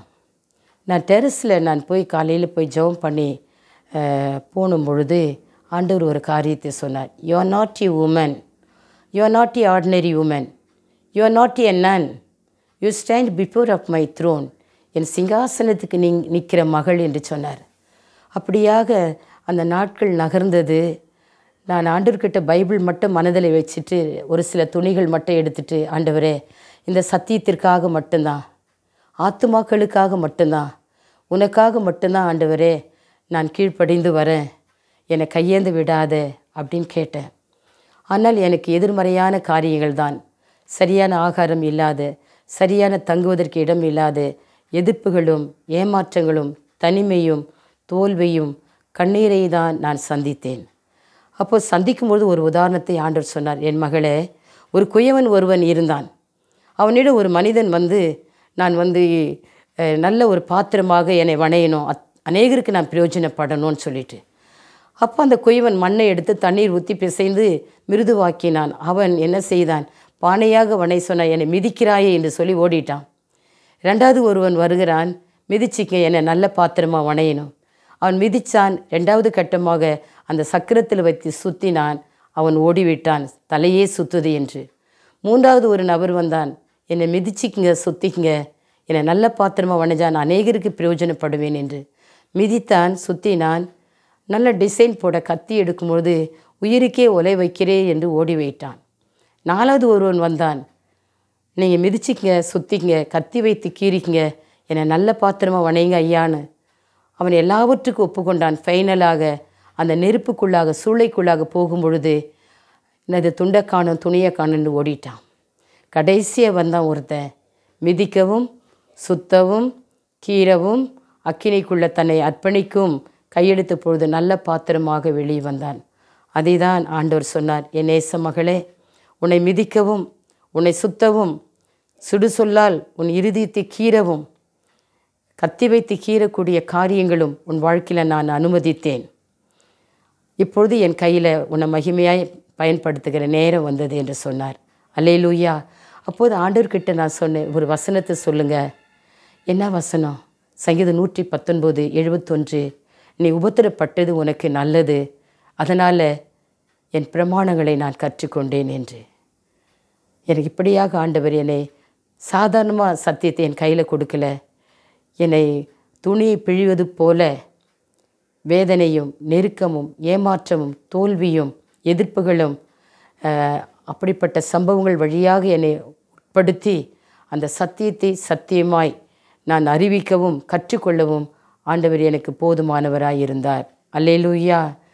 பரமனாம் குயவன் கையிலே நான் வெறும் களிமண் தானே. வணைவதும் வடிவமைக்கும் தேவனே என்னை வாழ வைக்கும் தெய்வமும் நீதானே. என்னிலே தகுதி ஒன்றும் இல்லையே. என் தேவன் முன்னால் மேன்மை பாராட்டு. இப்படியாக வந்து ரெண்டாயிரத்தி பன்னிரெண்டில் பல பாடுகள் உபத்திரங்கள் வழியாக அட்ரஸ் இல்லாதவளாக தங்க இடம் இல்லாதவளாக ஆகாரம் இல்லாதவளாக பல ஊழியர்கள் வீட்டில் பல மக்கள் மத்தியில் பல குடும்பங்களில் நான் வந்து ரொம்ப கஷ்டப்பட்டேன். நான் அடிக்கடி அல்ல வருடத்துக்கு இரண்டு முறை திருப்பத்தூர் உபவாச பிரேயருக்காக நான் போவேன். அது ஏன் போனேன் என்றால் ஒரு நாள் பத்து நாள் உபவாசிக்கும் பொழுது முடிவாக ஒரு பூமி உருண்டையானது என்னுடைய கையில் தென்பட்டது. நான் ஆண்டவர்கிட்ட கேட்டு இந்த சிறு கைகளில் இந்த பூமி உருண்டை வைக்கிறேன் என்று. அப்போது அது சரியாக ரொட்டேட் ஆனது. அதில் அப்போ சில பதினேழு ஆறு உலகத்தை கலக்கிறவர்கள் இங்கே வந்துவிட்டார்கள் என்ற வசனத்தை நான் பார்த்தேன். மகளே உலகத்தை கலக்கிறவர்கள் கூட்டத்தில் உன்னையும் நான் உறுதியாக எடுத்திருக்கிறேன். ஆகவே நீ உலகத்திற்காக தேசங்களுக்காக பட்டணங்களுக்காக ஜெபிக்க வேணும் என்ற ஒரு பணியை ஆண்டவர் எனக்கு கொடுத்தார். அதற்காக நான் தேசத்துக்காக ஜெபிக்கிற அந்த திருப்பத்தூர் அந்த இடத்துக்கு கிறிஸ்தவ ஆசிரமம் என்ற இடத்துல நான் அந்த ஜெபத்தில் உபவாச பிரேயர் மூணு நாள் உபவாசத்தில் நான் கலந்து கொள்வது வழக்கம். அப்போ ஜெபிக்கும்போது மறைந்த பிரதர் சாம் ஜெபத்துரை அன்றைக்கு ஒரு காரியத்தை சொன்னார்.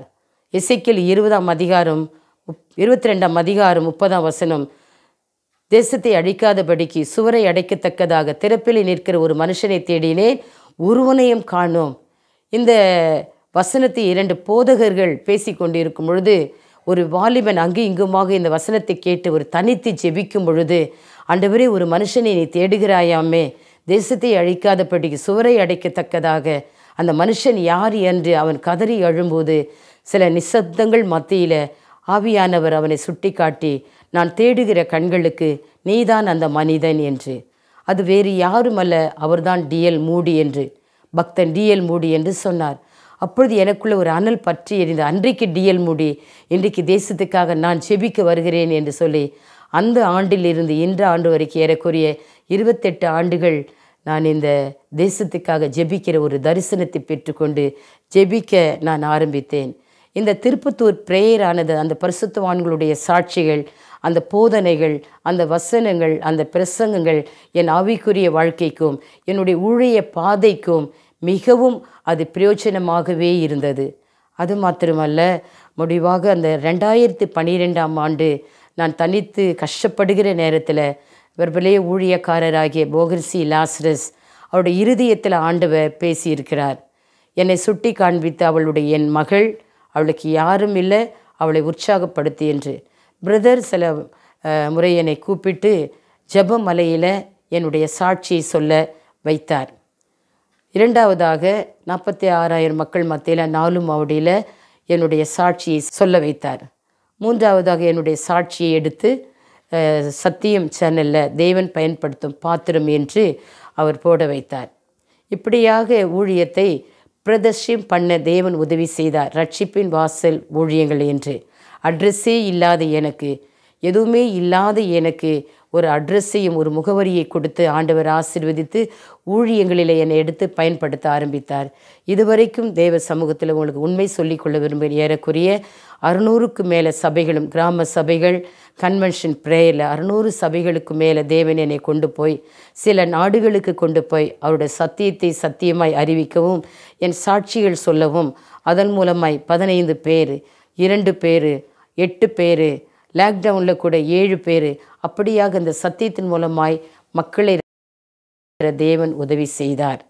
கத்தருடைய நாமும் மகிமைப்படுவதாக இப்படியாக கத்தருடைய அந்த ஊழியத்தை செய்வதற்காக என்னை தெரிந்து கொண்ட இடம் ஒரு கிராமம். ஏன் இந்த கிராமம் என்றால் ஆண்டர் சொன்னார் திபராளே நீ தாயாக எழும்பு கிராமங்கள் பாழாக கிடக்கிறது என்று.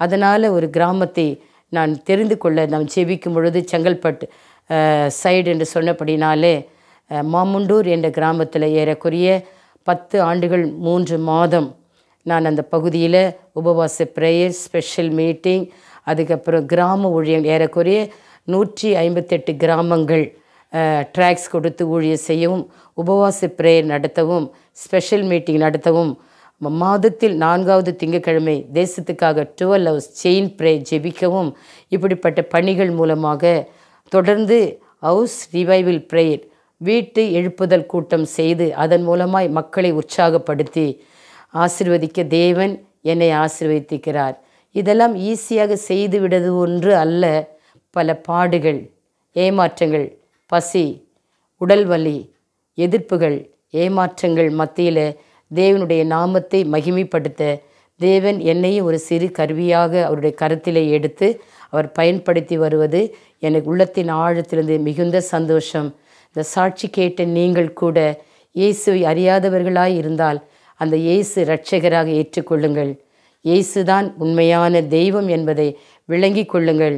பட்சபாதம் இல்லாத தேவன் எனக்கு ரட்சிப்பையும் ஆசீர்வாதத்தையும் பாதுகாப்பையும் வல்லமையும் கிருபையை கொடுத்தார் என்றால் உங்கள் வாழ்க்கையில் பட்சபாதம் இல்லாத தேவன் உங்களையும் மகிழ்விக்க அவர் வல்லவராய் இருக்கிறார் என்று சொல்லி இந்த சாட்சியை பகிர்ந்து கொண்டு உங்கள் எல்லாருக்கும் நன்றி சொல்லி இந்த வாய்ப்பை கொடுத்த தேவனுக்கு கோடான கோடி ஸ்தோத்திரங்களை செலுத்தி இந்த கிரைஸ்ட் காலிங் டிவிக்கு உதவியாக இருக்கிற அருமையான பாஸ்டர் டேனிக்கும் உள்ளத்தின் ஆழத்திலிருந்து மனதார நன்றி செலுத்தி தொடர்ந்து உங்களுக்காக உங்களுடைய தேவைகளுக்காக உங்களுடைய சுகத்துக்காக உங்களுடைய பாதுகாப்புக்காக அடிமை ஜெபிக்கிறேன் என்று வாக்குறுதி சொல்லுகிறேன்.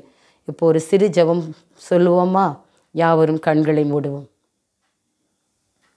அப்ரகாமின் தேவனும் இசாக்கின் தேவனும் யாக்கோப்பின் தேவனுமாகிய சர்வ வல்லமையுள்ள தேவனாகிய கர்த்தாவே உலகத் தோற்றத்துக்கு முன்பாக எபேசியர் ஒன்று நான்கு பிரகாரமாய் கிறிஸ்துவுக்குள்ளாக அன்பிலே நான் பரிசுத்தமாய் வாழ முன்குறித்து அண்டவரே என்னையும் ஒரு சிறு கருவியாக எடுத்து பலவீனமாக ஒழுங்கற்றவளாக வெறுமையாக இருந்த என்னை ஆண்டவரே உம்முடைய கிருபியால் நிறைத்து ஒழுங்கு பிள்ளையாய் மாற்றி முத ஆவியானவரை கொடுத்து ஆவியானுடைய அனுபவங்களை கொடுத்து விலமதிக்கப்படாத இலவசமான அந்த ரட்சிப்பை கொடுத்து உமது ஊழியத்தை செய்ய என்னையும் பல நெருக்கத்தின் மத்தியில் உபத்திரத்தின் குகையிலே தெரிந்து கொண்டீரே சுவாமி. அதற்காய் நன்றி செலுத்துகிறேன் ஆண்டவரே. இந்த சாட்சியை சொல்ல வைத்த அன்புக்காக நன்றி. பிரதருடைய குடும்பத்திற்காக டேனி பிரதருடைய குடும்பத்திற்காக அவருடைய மனைவிக்காக இரண்டு கண்மணி பிள்ளைகளுக்காக அவர் செய்கிற அந்த ஊழியங்களுக்காக போகிற பயணங்களுக்காக அவருக்கு நல்ல சுகம் பெலன் ஜீவன் ஆரோக்கியம் சந்தோஷம் சமாதானம் பூரண ஆயுசை கொடுக்கும்படியாக அந்த சந்ததி முழுவதுமாய் ஆசீர்வதிக்கப்பட ஜெபிக்கிறேன் சாமி. ஆண்டவரே இந்த சத்தியத்தை அறிவிப்பதன் மூலம் மகிமை எனக்கல்ல ஆண்டவரே முத நாமும் மட்டும் மகிமை அடைவதாக உடைய நாமம் மட்டும் மகிமை அடைவதாக நீர் மட்டும் உயர்ந்து நிற்பீராக. அடிமையினை தாழ்த்துகிறேன் ஆண்டவரே. எவ்வளவேனும் நான் என்னை வெளிப்படுத்தாதபடி மகிமை வெளிப்படுத்தாதபடி சுயம் வெளிப்படாதபடி என்னை தாழ்த்தி மறைத்து இந்த சாட்சியை கேட்க உதவி செய்யுங்கப்பா. கேட்கிற உள்ளத்திலே நீர் பேசுவீராக. நீ பேசாத கல்லோ மரமோ அல்ல. நீர் என்னோடு கூட பேசின தேவன். அப்ரகாம் ஈசாக் யாக்கோப்போடு கூட பேசின தேவன். சிறிய சாமுவேலோடு கூட பேசின தேவன். நேற்றும் என்றும் என்றும் மாறாத இயேசு கிறிஸ்துவாகிய தேவன் என் பிள்ளைகளோட என் மக்களோட என் சகோதரிகளோட என்னுடைய சகோதரர்களோட என் வயதான சகோதரி சகோதரர்களோட இந்த உலகத்து மக்களோடு கூட பேசுவீராக. எல்லா துதியும் எல்லா கனமும் எல்லா மகிமையும் ஒருவருக்கே செலுத்தி முழு ஆசீர்வாதத்தை இந்த கேட்கிற குடும்பங்களுக்கும் பிள்ளைகளுக்கும் மனிதர்களுக்கு உரிமையாக்கி முக்கியமாக இந்த சாட்சியை எடுக்க உதவியாக இருந்த டேனி குடும்பத்துக்கு அர்ப்பணித்து ஜெபிக்கிறோம். எங்கள் ஜெபம் கேளும். எங்கள் ஜீவன் உள்ள நல்ல பிதாவே ஆமேன். அன்பார்ந்த கிரைஸ்ட் காலிங் டிவி நேயர்களே மேலும் இது போன்ற உங்களுடைய சாட்சிகளை எங்களுடைய சேனலில் கொடுக்க விருப்பமுள்ளவர்கள் எங்களை தொடர்பு கொள்ளுங்கள். தொடர்புக்கு ஏழு இரண்டு பூஜ்ஜியம் பூஜ்ஜியம் ஏழு ஒன்று மூன்று ஐந்து ஆறு மூன்று. கர்த்தத்தாமே உங்களை ஆசிர்வதிப்பாராக ஆமேன்.